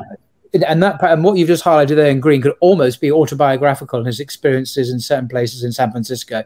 You know, the, yeah. the, the bodies, their their forces, energies, sensations, pleasures, brackets. I'm not going to say because it's a bit haram, but but you know, mm. the, the, there's almost a, I think Freud looking at this, thinking, hmm, there's a subtext here about his life. Yeah. uh, it almost yeah, seems clear, yeah. Autobiographical. If you know a bit about Foucault's life, this is almost autobiography masquerading as theory. and that, that, yeah. that is the impression you get from reading him very, very strongly. That he's very. It's it's um, there's something very visceral, almost desperate, almost sexual about the way that he's writing. Right. Um, and um, uh, I was just about to say, you know, this goes back to what we saw uh, towards the beginning of our discussion, which is that he he he predicted almost, and I think he's proven to be right. I mean, whether it's a self fulfilling prophecy or not, I don't know, but he, he saw that if we could challenge the normativity of heterosexuality, that would ultimately lead to the disappearance of the notion of sex itself as a as a you know fixed essence type of thing. So that's just very interesting to bear in mind. Yeah. Um, so we finally get ah. to our last figure, Judith Butler. Yes. Yeah. Who I, I didn't realize when I was writing the article was probably physically about 200 meters away from me because he not only lived in Berkeley, but in Berkeley Hills, which is exactly where I lived. Um, I saw a, a, video of hers very recently at the University of Cambridge, uh, hosted by the university with the, the sociology department banner behind her, another banner. The university loved her. And I'm thinking this is Cambridge University promoting Judith Butler as if she's some kind of secular god. Oh, absolutely. And those are two very, very key centers. Cambridge is a very, very key center of this whole movement, and as is, um, of course, Berkeley. Mm-hmm.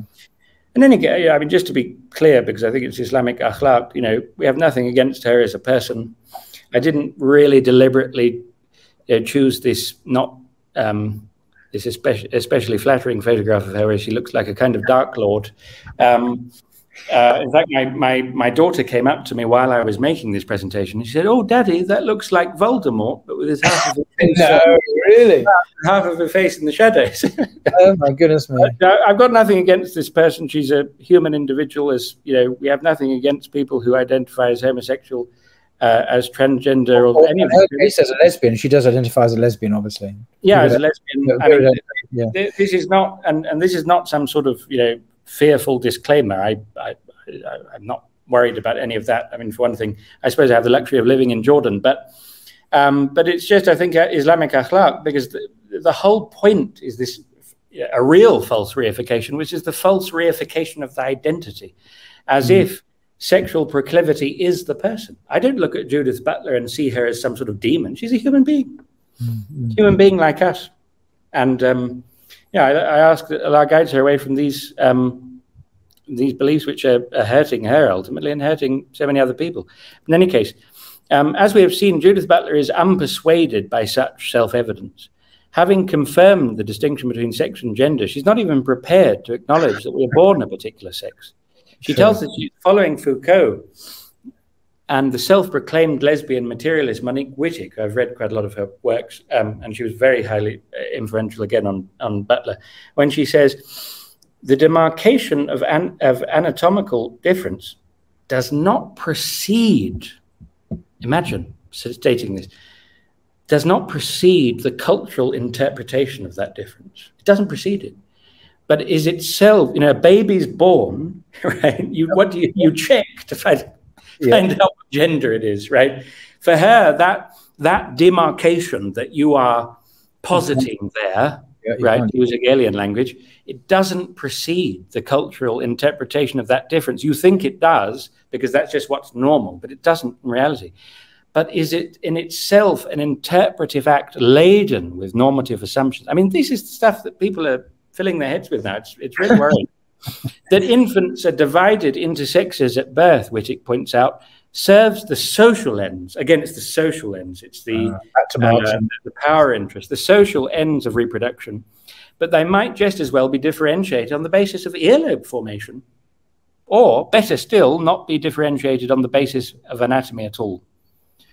I mean, any normal person, and, and I'm sort of, you know, this is a kind of a hearsay, would, would, if they understood what was just read there, would just see this as just insanity. Mm. I, I, hmm. mean, it, it's not. It has no has nothing real about it at all. It's complete bonkers to say to say to say that a child's female is not is not be differentiated on the basis of anatomy at all.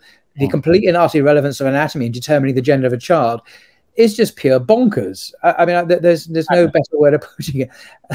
And uh, I'm I'm flabbergasted that people take this seriously, and that it is taken very seriously. Well, I think you know this is not anything conspiratorial. I think it's just really factual. This is a cult, right? Cults have their own internal logic.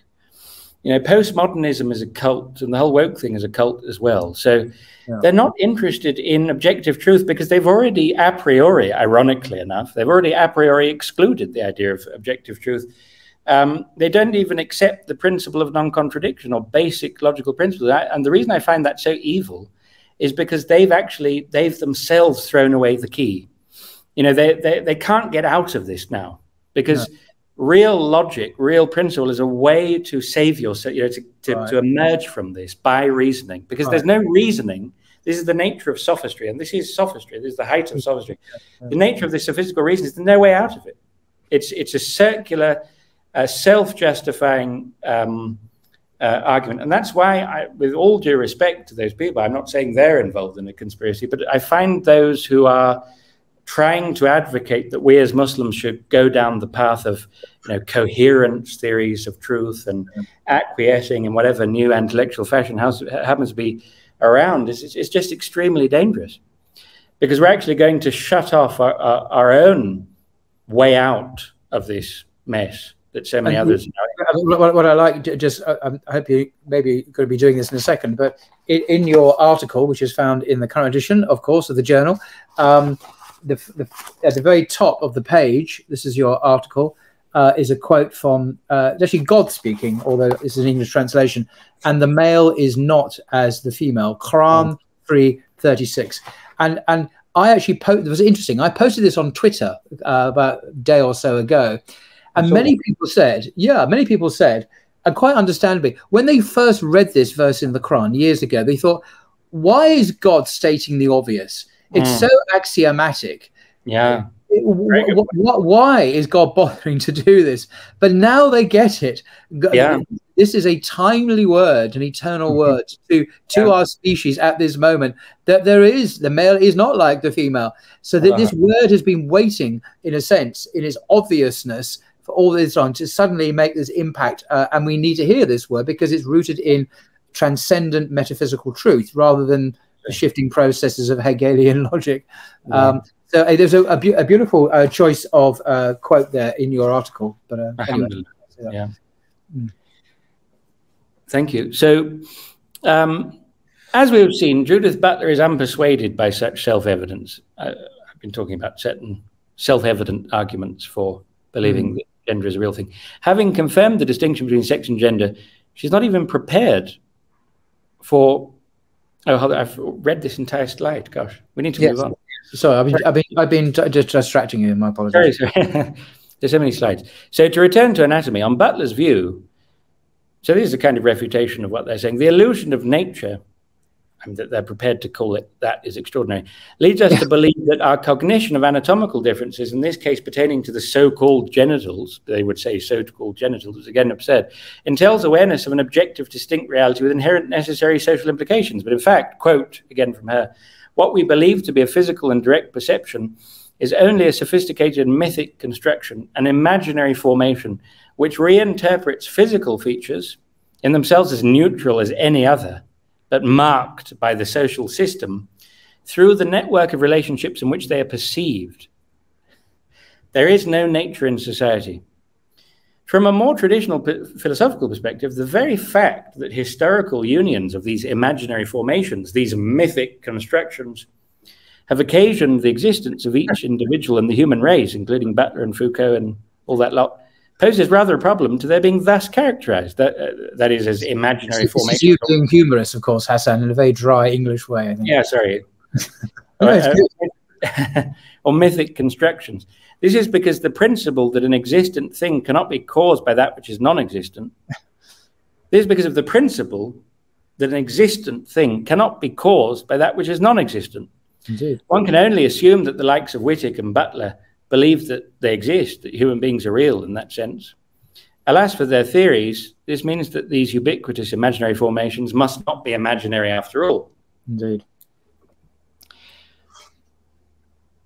The idea that there is some, this is a more general point, right? Kind of summing up. The idea that there is some better, more fulfilling reality for the individual to achieve by freeing him, himself, him or herself from the oppression of nature precisely traces its ideological motivation to a sustained attack on the traditional family, which was among the most vital linchpins for the original theoreticians of constructionism and thus of gender fluidism. So, if we think back to the the sequence that we saw over going from heterosexual promiscuity to challenging the normativity of heterosexuality to actually denying sex in the sense of gender there's another factor which is very much related to all of that of this, and is in, a sense uh, becomes more and more advanced, and the family deteriorates more and more as these uh, stages unfold, which is the attack on the traditional family.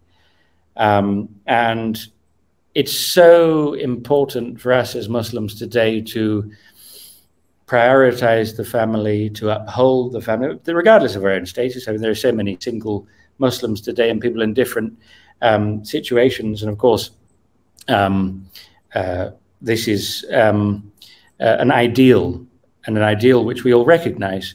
But, but the, the family is that ship that will bear us across these stormy waters. Um, and it's so, so important. it's so important for the other side. I mean, sorry to put into these those terms, but it's so important for the other side to denigrate the notion of, of, of, the traditional notion of family for reasons that we'll see.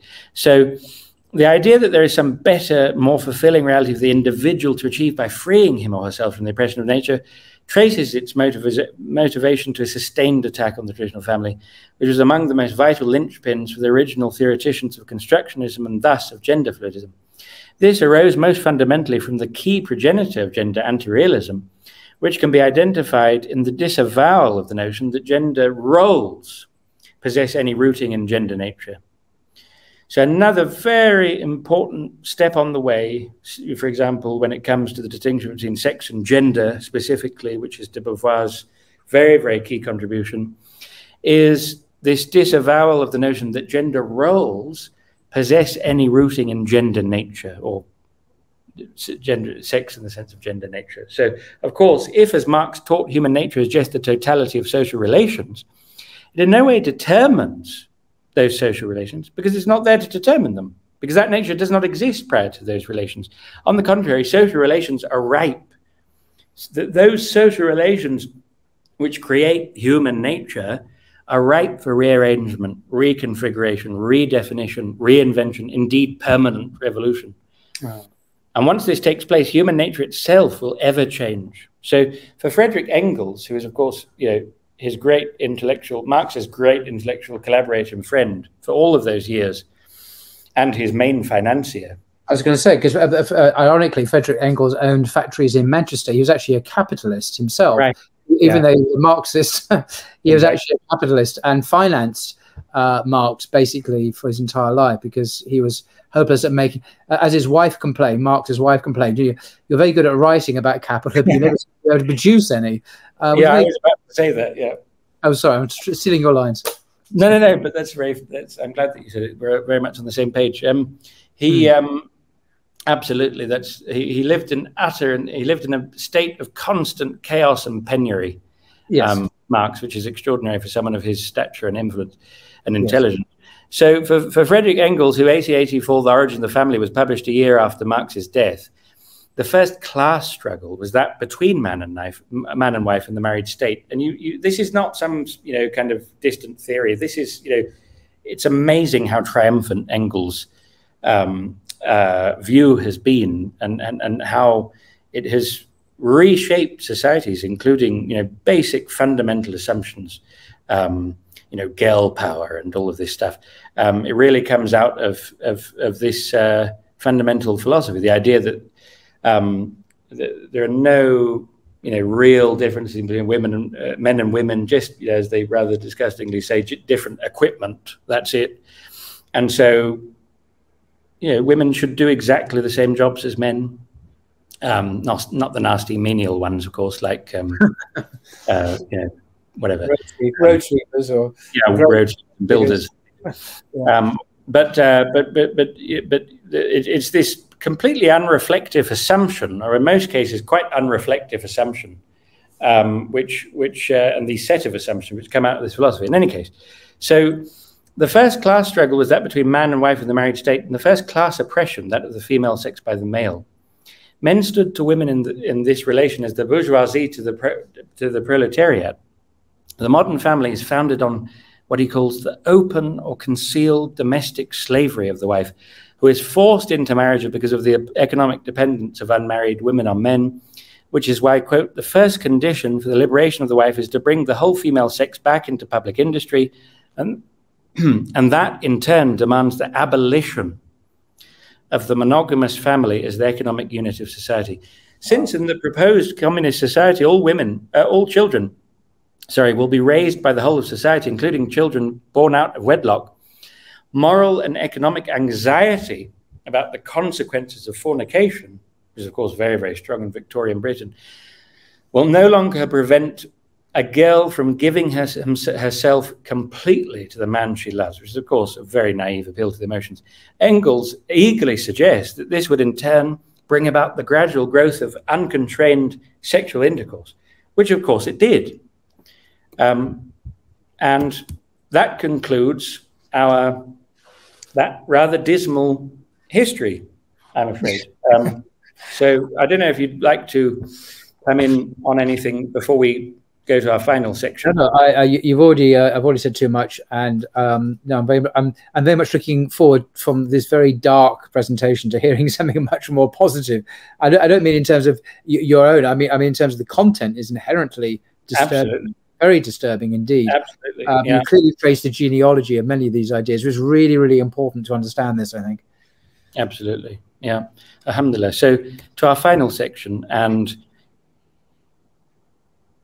we talked about the inversion. So what's the asl? You know, what's the what is in some sense the metaphysically natural way of looking at this? So Islam and gender as metaphysical principle. Now this was mostly about the genealogy of um, uh,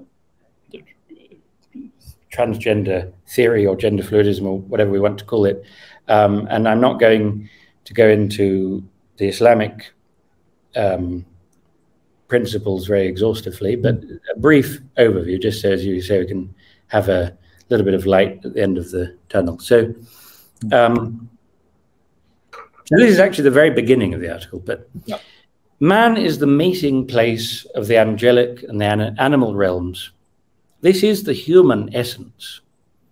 So we span the worlds. We have this extraordinary, unique nature. We are, in a way, the barzakh or isthmus between the, the different worlds. We, the reason we can be the khalifa or steward of the world is because there's something of all of the worlds within us. In some sense, we span the world. We're kind of extended over the world in some strange way as the meeting place of the angelic, which is kind of the spiritual, the intellectual, dimension, the animal, which is very clear. I mean, you know, the definition of animal in our tradition is that it's a jism nami yataharrak bil irada, right? Or jism nami hassas in a in an extended definition, yataharrak bil irada It's very, very simple. The question, are we animals in that sense, can easily be answered. Because an animal is a jism nami, it's a growing body, right, which is sensitive, it can sense physically yataharrak bil irada, that can move, that can set itself in motion by free volition, by free will. That's what a that's what an animal is. So when we say you know, hayawan natik, rational animal is the definition, albeit um, Aristotelian definition, possibly not the ultimately best definition. I don't think it is, but it's a it's a, it's valid for its own purposes. What we mean is that you know man is a is a hayawan. He's a jism nami hassas mutaharrik bil irada who's also um, bil which is the meaning of natiq, who um, can uh, uh, uh, can engage in in reflection, in thought, in abstract thought, um, and so um, that, in a way, that definition brings together an aspect which is not at all exhaustive, but of, of our status as the meeting place of the angelic and the, and the animal. So this is the human essence. So we've just seen all these rejections of human essences. As some of the greater, greatest philosophers of the Islamic tradition have taught us, from Raghib al-Isfahani and Al-Ghazali to Shah Waliullah.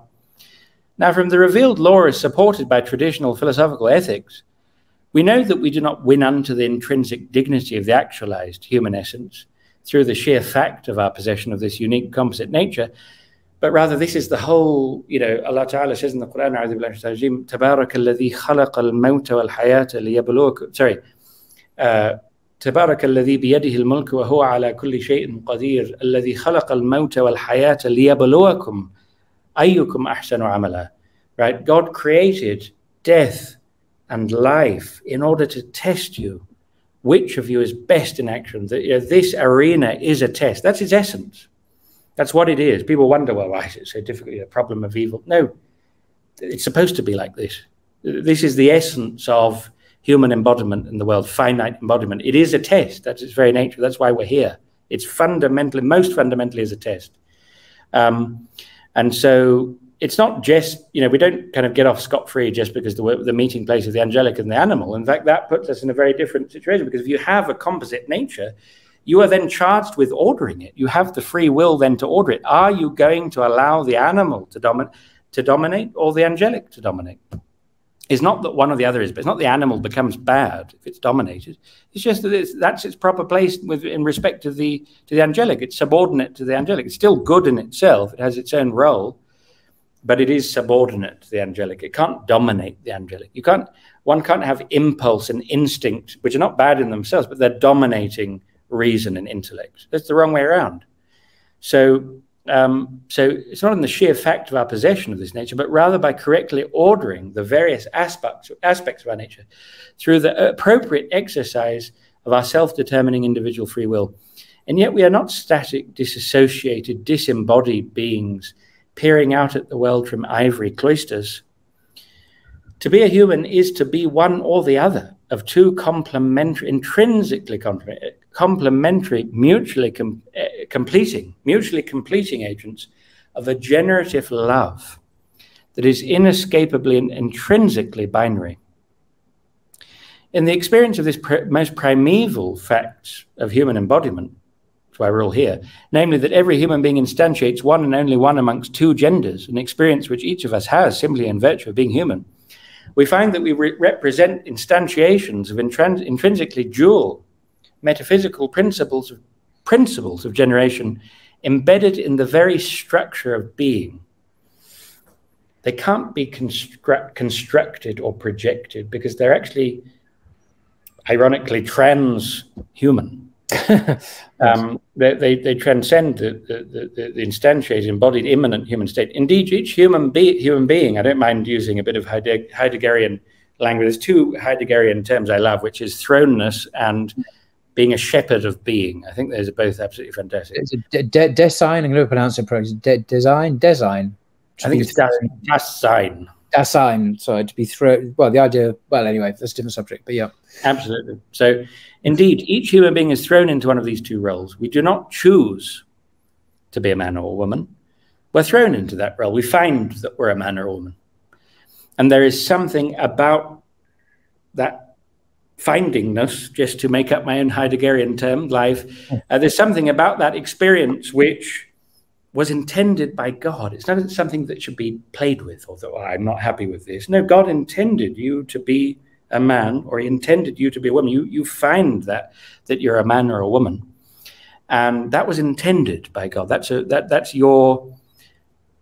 I don't mean it's your place because one is not better than the other, but it, that is your role. That is your complementary role, and one has to embrace it. So. Um, we're thrown into the but we do not choose to be a man or a woman. A further aspect of achieving human dignity thus lies in accepting God's true choice and, fulf- and, and, fulfilling with beautiful and beautifying excellence, ihsan. Yeah, Hasan means beautiful. Ihsan is the form for causative, which means to do the beautiful. So that's beautiful, Spiker, indeed. Oh, thank you. Um, it's good and beautiful. I'm, I'm the good and beautiful. I'm very humble. You're good so, and beautiful. Okay. So the role, so it's to fulfill with that beautifying and be, that, that beautiful and beautifying excellence, that beautiful, wonderful Islamic term ihsan, the role that we have been allotted precisely in having been thus created, male or female. The liberating truth. By the way. Beautiful. Well, thank you very much. Thank you very much. Too kind. So this is uh, then right at the end of the book. The liberating uh, article, the liberating truth offered by the tools of the Islamic tradition is that gender arises from both. I think this is a very strong way to counteract this line of thought. Arises from both our animal nature and our angelic nature. Because as we were saying, it does have a physical dimension and an intelligible dimension. In the sense, you know, intelligible in the sense of object of the mind. You know, femininity and masculinity, they're really objects of the mind. There's nothing, you can't really find an empirical property that they answer to, right? So in a way, that's why I was saying that you know the Sartres of the world are more consistent than Dawkins ultimately, despite he has this, yeah, I'm just a common sense, hard-headed, rational person who believes in science. But at the end of the day, there is a lot of interpretation in science, and there's a lot of interpretation in our experience of our daily world, which is not physical and not empirical, can't be construed in any way as physical. But against the postmodernists and this whole stream of thought, we contend that, that the fact that it is intelligible, it's not physical, it's the object of the mind, doesn't entail its subjectivity. It can be mental in some way and be objective. And that really is the whole point of my book, Things as They Are. And so you know, if someone wanted to substantiate that further, I'd direct them there. But um, uh, so, just, uh, so, just, a quick commercial break then. Uh, oh, thank you. Commercial break. I mean, uh, that's the book you're just referring to. So do get a copy of that. It's uh, there you are It's available on Amazon if that is your chosen vendor. I'm saying you should go to Amazon, but anyway, you can get it from there. Thank you very much. That's very kind of you. Got to have our commercial breaks. Um, I, I, I, notice you don't have uh, product placements like Russell Brand does yet. So, um, well, I'm not. I'm not Russell Brand. So no, he, he's, he's, he's very humorous. so it's not so jarring. In any case, um, so the, the liberating truth is that gender arises from both our animal nature and our angelic nature. Yes, there is an intelligible nature. Yes, it's just going to be moralizing. It's just going to be the conservative doing everything that the liberal does just a bit later. if we don't recognize, yes, there is a, you know, what's called in Islamic philosophy a shubha. There's a doubt. That it's not just stupid that people have started thinking this way. There, there is this mystery about the fact that gender not only has this anatomical basis, but there is also this intelligible dimension, these properties of femininity and masculinity, which can't really be construed as empirical. They may have an empirical basis, or even that's kind of doubtful in, the, in, in, a direct sense, but they, they may have, they certainly have an ontological substratum, we would say. But um, there's certainly a distinction between these two aspects of gender. It's just that we would say that in in reality, they are an inexpungible unity. One can't separate one from the other in reality. Inexpungible. I love that word. Inexpungible. I'm going to have to start using that word. Thank you. Yeah, I think I found that in a thesaurus for purposes of this, but I'm not sure if I've used it. It is a rather lovely word. I, I, I, use thesauruses extensively, can't live without them. So um, uh, I wish that I was just um, a genius who could um, churn out poetry without using one. But in any case, um, uh, so it, arises from both our animal nature and our angelic nature. Indeed, the animal nature is informed by the angelic nature. So you know, uh, sex exists in the in the sense of gender exists in the animal world, but it's not the yeah. same as as human gender. Um, the generative love that arises from the union of the two gender principles is not merely the production of children, self-evidently sublime and momentous as that is, but the cultivation of the world through the actualization of complementary attributes that can only obtain via the intelligible rather than merely physical union of the, general, uh, the gender principles, the receptive, affective, nurturing, compassionate, beautiful feminine, a matrix of predominant but not exclusive which is always the immediate objection. I, I like you always say, you, but not exclusive twice. You did that in reference to the feminine and then and also into the masculine. I like that because you're you're not there by because there is a certain sense of a spectrum here rather mm. than two, discrete monolithic male female entities. So you do you do have a, a, nuance there, which I really like. I just want to say that. Well, thank you, and it, it's it's it's also you know we respect and you know people are on that spectrum, and there are women who, with all respect, we, uh, uh, you know, have slightly more masculine properties than Judith, than, Judith Butler, for example. Yeah, for example, than other than other women, and there are men who have uh, slightly more feminine properties, perhaps, but they are subject to this regulation by an ultimate yeah. uh, feminine principle and an ultimate masculine principle. But it's not to say that everyone has to be exactly the stereotype of masculinity or femininity. Yeah. On the other hand, restoring masculinity and femininity um, is of the greatest moment and, and, and importance. The, the, the, their fundamental importance and their reality for and, and for the, for these for this for the, very purpose that I'm trying to uh, explain at the moment. Um, so, um, and then you know the the, the, the providing, active, protecting, majestic masculine, a, a, matrix of predominant but not exclusive attributes that supervenes on the biologically male. That is, the exigencies of human nature entail that human gender comprise dimensions of depth simply not shared by mere animal nature, uh, gender, and which are consequences of the unique potential possessed by human beings to become the realized vicegerents and stewards of the world. So these, of course, allusion to, to many, many different verses in the Quran, but the istikhlaf of mankind, that we, uh, uh, Allah Ta'ala appoints us, Jalla Jalaluhu, as the vicegerents of the world, um, his stewards um, who are responsible for the cultivation of the world, for, for looking after the world. Um, and um, uh, many, many such verses. Um, إنا عرضنا الأمانة على السماوات والأرض فأبين أن يحملنها وأشفقن منها وحملها الإنسان um, you know, we, we offered the trust, which is the khilafah, which is the stewardship, the vicegerency, uh, to the heavens and the earth. Yes, I think I missed out Astaghfirullah wal Jibal and, and the mountains. فأبينا أن يحملنها and they, they they refused to they shrank from bearing them and they were afraid of it they were afraid it was such a, a weighty weighty vocation a weighty charge mm. um, uh, and and man took it on وحملها Right? It was man who. So, um, so this is what we're talking about here. So it's uh, you know, unique consequence of the unique potential possessed by human beings to become the realized vicegerents and stewards of the world, the complementary of attributes that can only obtain by means of the union of mutually completing genders presupposes humankind's unique nature as the meeting place of the angelic the animal. Why? It arises from our unique status as stewards of the earth, in which the balance and harmony we seek to effect must first be realized through the achievement of equilibrium between opposite attributes.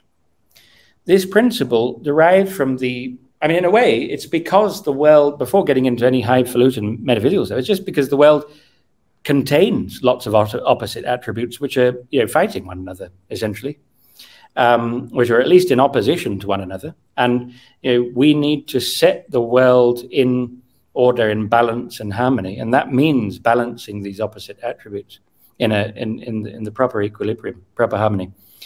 Um, it must be achieved through the achieve. It must be uh, obtained through the, the, achievement of equilibrium between opposite attributes. This principle, derived from the advanced metaphysical tradition of Islam, comes to the fore in one of the many later commentaries in the 14th century Muslim theologian Abdul Iji's Ethics, so this is a very important work of philosophical ethics. Um, there was a myth, which I hope has been exploded by now, that the you know the Ash'ari normative Sunni Ash'ari Maturidi tradition didn't engage in philosophical ethics because they had the Sharia, and that meant that they didn't engage in philosophical ethics. But actually, they they did very very much into the latter centuries, very much in the Ottoman world, particularly. There are many many commentaries on Iji's work and uh, Tusi's work and many other works of philosophical ethics, and they they, they complement one another, the Sharia and philosophical ethics. I mean, that's maybe a, a, discussion for another time. But in any case, um, so this is one of those works. So this is Alauddin al-Khazaruni, I believe. The wisdom underlying man having been brought into existence, man who is the encapsulation of all of the worlds, is that he might fulfill the divine vicegerency as is clearly expressed by the tenor of the noble verse, I'm, import, I'm appointing on earth a vicegerent, the famous verses in Surah Al-Baqarah, Inni ja'ilun fil ardi khalifa, and is moreover the import of the one we just recited. We offered the trust unto the heavens and the earth and the mountains, and they shrank from bearing it, and they were afraid of it, but man carried it.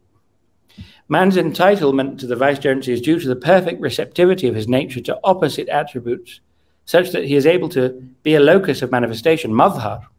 Not, there's nothing, this is theophanic, there's nothing pantheistic about it. He doesn't become God, but he mirrors God's attributes of the opposite divine names and accomplish the habitation, cultivation, and construction of both the outward and spiritual worlds. So this is the stewardship, is to cult to accomplish the habitation, cultivation, construction of both the outward and spiritual worlds.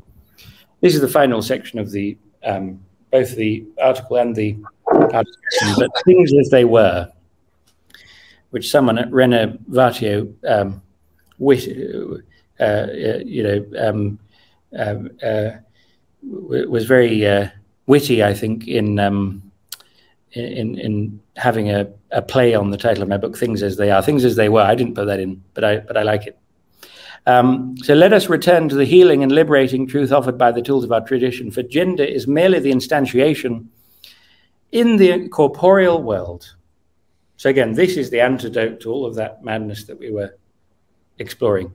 Gender is mere, what is gender then? It's merely the instantiation in the corporeal world of the very principle of complementarity. Why is there this thing called, you know, this is the metaphysical way of thinking that you know we don't take anything for granted. So there is such a thing as complementarity in the world. Why?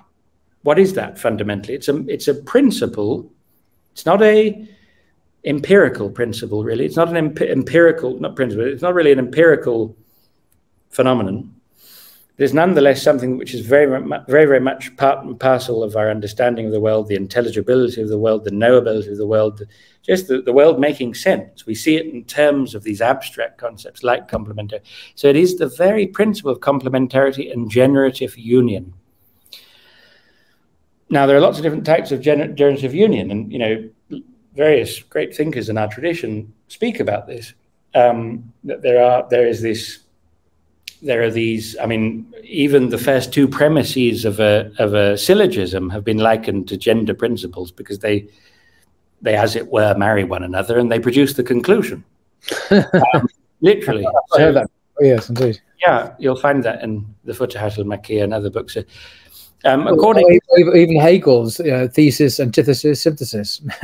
it, it is um, uh, sim similar in a way, but um, I think sorry, it's sorry to bring his name back into this. Yeah, in other ways, very, very much not similar. But, um, but yes, um, according to certain highly influential accounts of the metaphysics of creation, God, in His absolute wisdom and freedom, ordained that the sublunary world should presuppose in its emergence. Right. By the way, this is not aqidah. It doesn't, you know, people get very worried about this nowadays. I don't think they did in the past, um, but uh, it's understandable. This is not aqidah.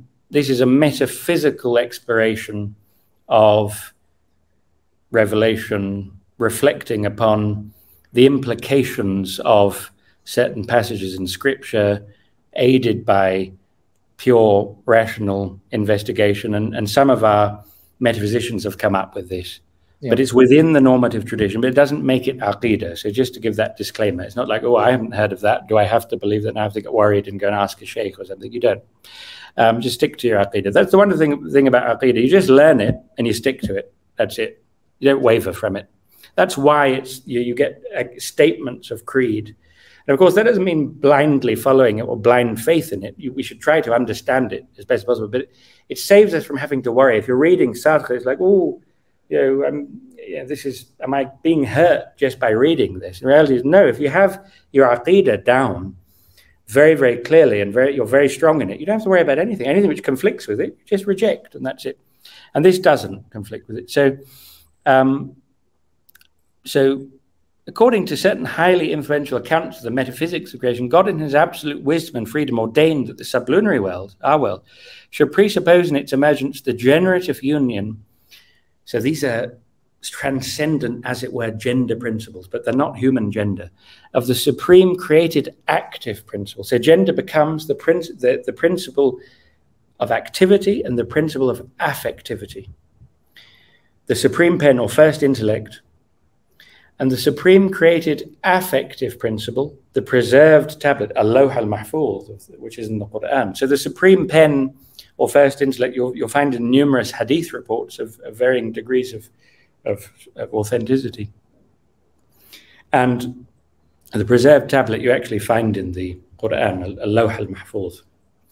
Um, the original gender principle. So, as it were, the supreme pen, which is the ultimate principle of intelligibility, which has all of the universals, all of the essences, it writes upon, as it were, the universal soul, which doesn't just contain the universals, but it contains all of the particulars as well. All of the particular instantiations obtain when, when as it you know, figuratively, the supreme pen or first intellect writes upon the um, the, the, the preserved tablet or universal self. So scriptural language, uh, you know, Quran Hadith language is supreme pen and preserved tablet. The philosophical language, in a philosophical tradition, is first intellect and universal soul. The original gender principles, which manifest throughout the metaphysical hierarchy of being.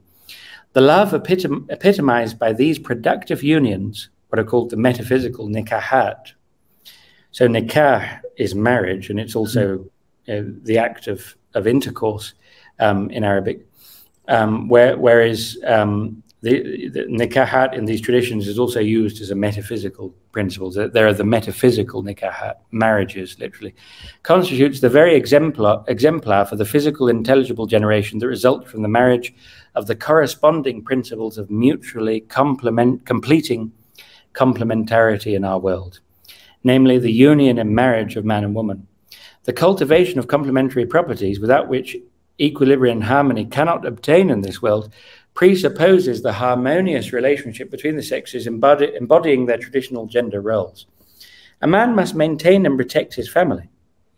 This is the final slide. That is proved to be the providing, active, protecting, majestic qawwam. There's the famous verse in the Quran, Ar-rijalu qawwamun ala nisa. So the qawwam is he who safeguards, maintains, and gives support. So that verse is translated something like, uh, um, men are those that safeguard, maintain, and give support to women. The principle of affection, infial, exemplified by the preserved tablet in that understanding, or universal soul, requires that this distinctively male role be fulfilled by a complementary, be, be fulfilled by a complementary mode of human existence. The male active principle can only set in motion, but not himself fulfill the giving and nurturing of life. Without getting too graphic, I mean, the, you know, uh, the, the, the, male sets that in motion, but he doesn't, um, he, he can't in himself fulfill the nurturing of life, which is presupposed by the giving of life. He must seek companion, or, or is rather required by the giving of life. He must seek companionship with the complementary female mode of existence, paradigmatically, although not solely receptive, effective, nurturing, compassionate, beautiful. Asking a woman to fulfill her role in the manner of a man who fulfills his, who fulfills his, or the reverse, simply impairs the potential complementarity that is intrinsic to all human life and that every human stands in need of. Harmony is diminished thereby, the balance is broken. Ahmed Paul Keeler's uh, language. Mm. The brilliant Ahmed Paul Keeler. Um, also from Cambridge, a senior fellow. Also from, also from Cambridge. Now, the wisdom underlying the emergence of the genders was only the pursuit of intimate love. Here's a quote from Ibn Arabi, Muhyiddin Ibn Arabi, from the Futuhat al-Makkiyah. The wisdom underlying the emergence of the genders was only the pursuit of intimate love in a parallel being of the same kind, such that in the world of bodies, through this natural fusion, the perfect human being, Al Insan al Kamil, might exist in the form that God intended, resembling the supreme pen and the preserved tablet. It's a very interesting quote. And the Futuhat is, is full of, of um, uh, for want of a better word, not the right word, but theorizing uh, uh, and theoretical foundations for this metaphysical rooting of gender. Gender, then, is merely the instantiation in the bodily world of the metaphysical principles of complementarity and generative union that permeate all of God's creation. Such unions are responsible for the unfolding of the degrees of being, the cultivation of the world, and the stewardship of the cosmos, in which our uniquely, our uniquely human perfection, worth, and dignity really lie. The very being and integrity of the world are contingent on the actualized complementarity of the genders, which are far from fluid or dispensable. Thank you so much for bearing with me, Paul. It was that a bit going. No, well, well, yeah, I, I prolonged it, but um, I, I, I will link, or I have linked uh, to this article, your article in the uh, description below, uh, and and also uh, the journal where it's from. Uh, the Journal of the Zaytuna College Renovatio. Uh, this is the current edition with uh, some um, other amazing articles uh, as well. It's a beautiful thing to have, people. I, I don't mind um, plugging this because I really believe in it. I think it's fantastic. Um, I, have never seen any journal which is so beautifully produced. True. Production no, values are, are really extraordinary. It's all in full color and beautiful paper, and it's just a lovely thing to have. Yes, it is. Yes, that's very true. It's a, a, a it's itself a work of art, um, and uh, uh, yes, so that's where the article uh, is to be found. Um, and uh, as I've already mentioned, uh, Hasan has already uh, that's his most recent book, Hierarchy and Freedom, which I do recommend, um, as I do all your works actually. that's more on Kant, which is slightly more specialized. Uh, this is even perhaps even more specialized, and, uh, but also excellent as well. Do, do read your uh, do read Hasan's work. And when is your um, you say it's forthcoming? Your your book on transgenderism. Um, what, do we have any idea when it might be published? Or um, I was thinking that it was going to be the end of October, but I realised that's not really not going to be possible. So I, would say sometime early in the new year, inshallah. Right, right, good.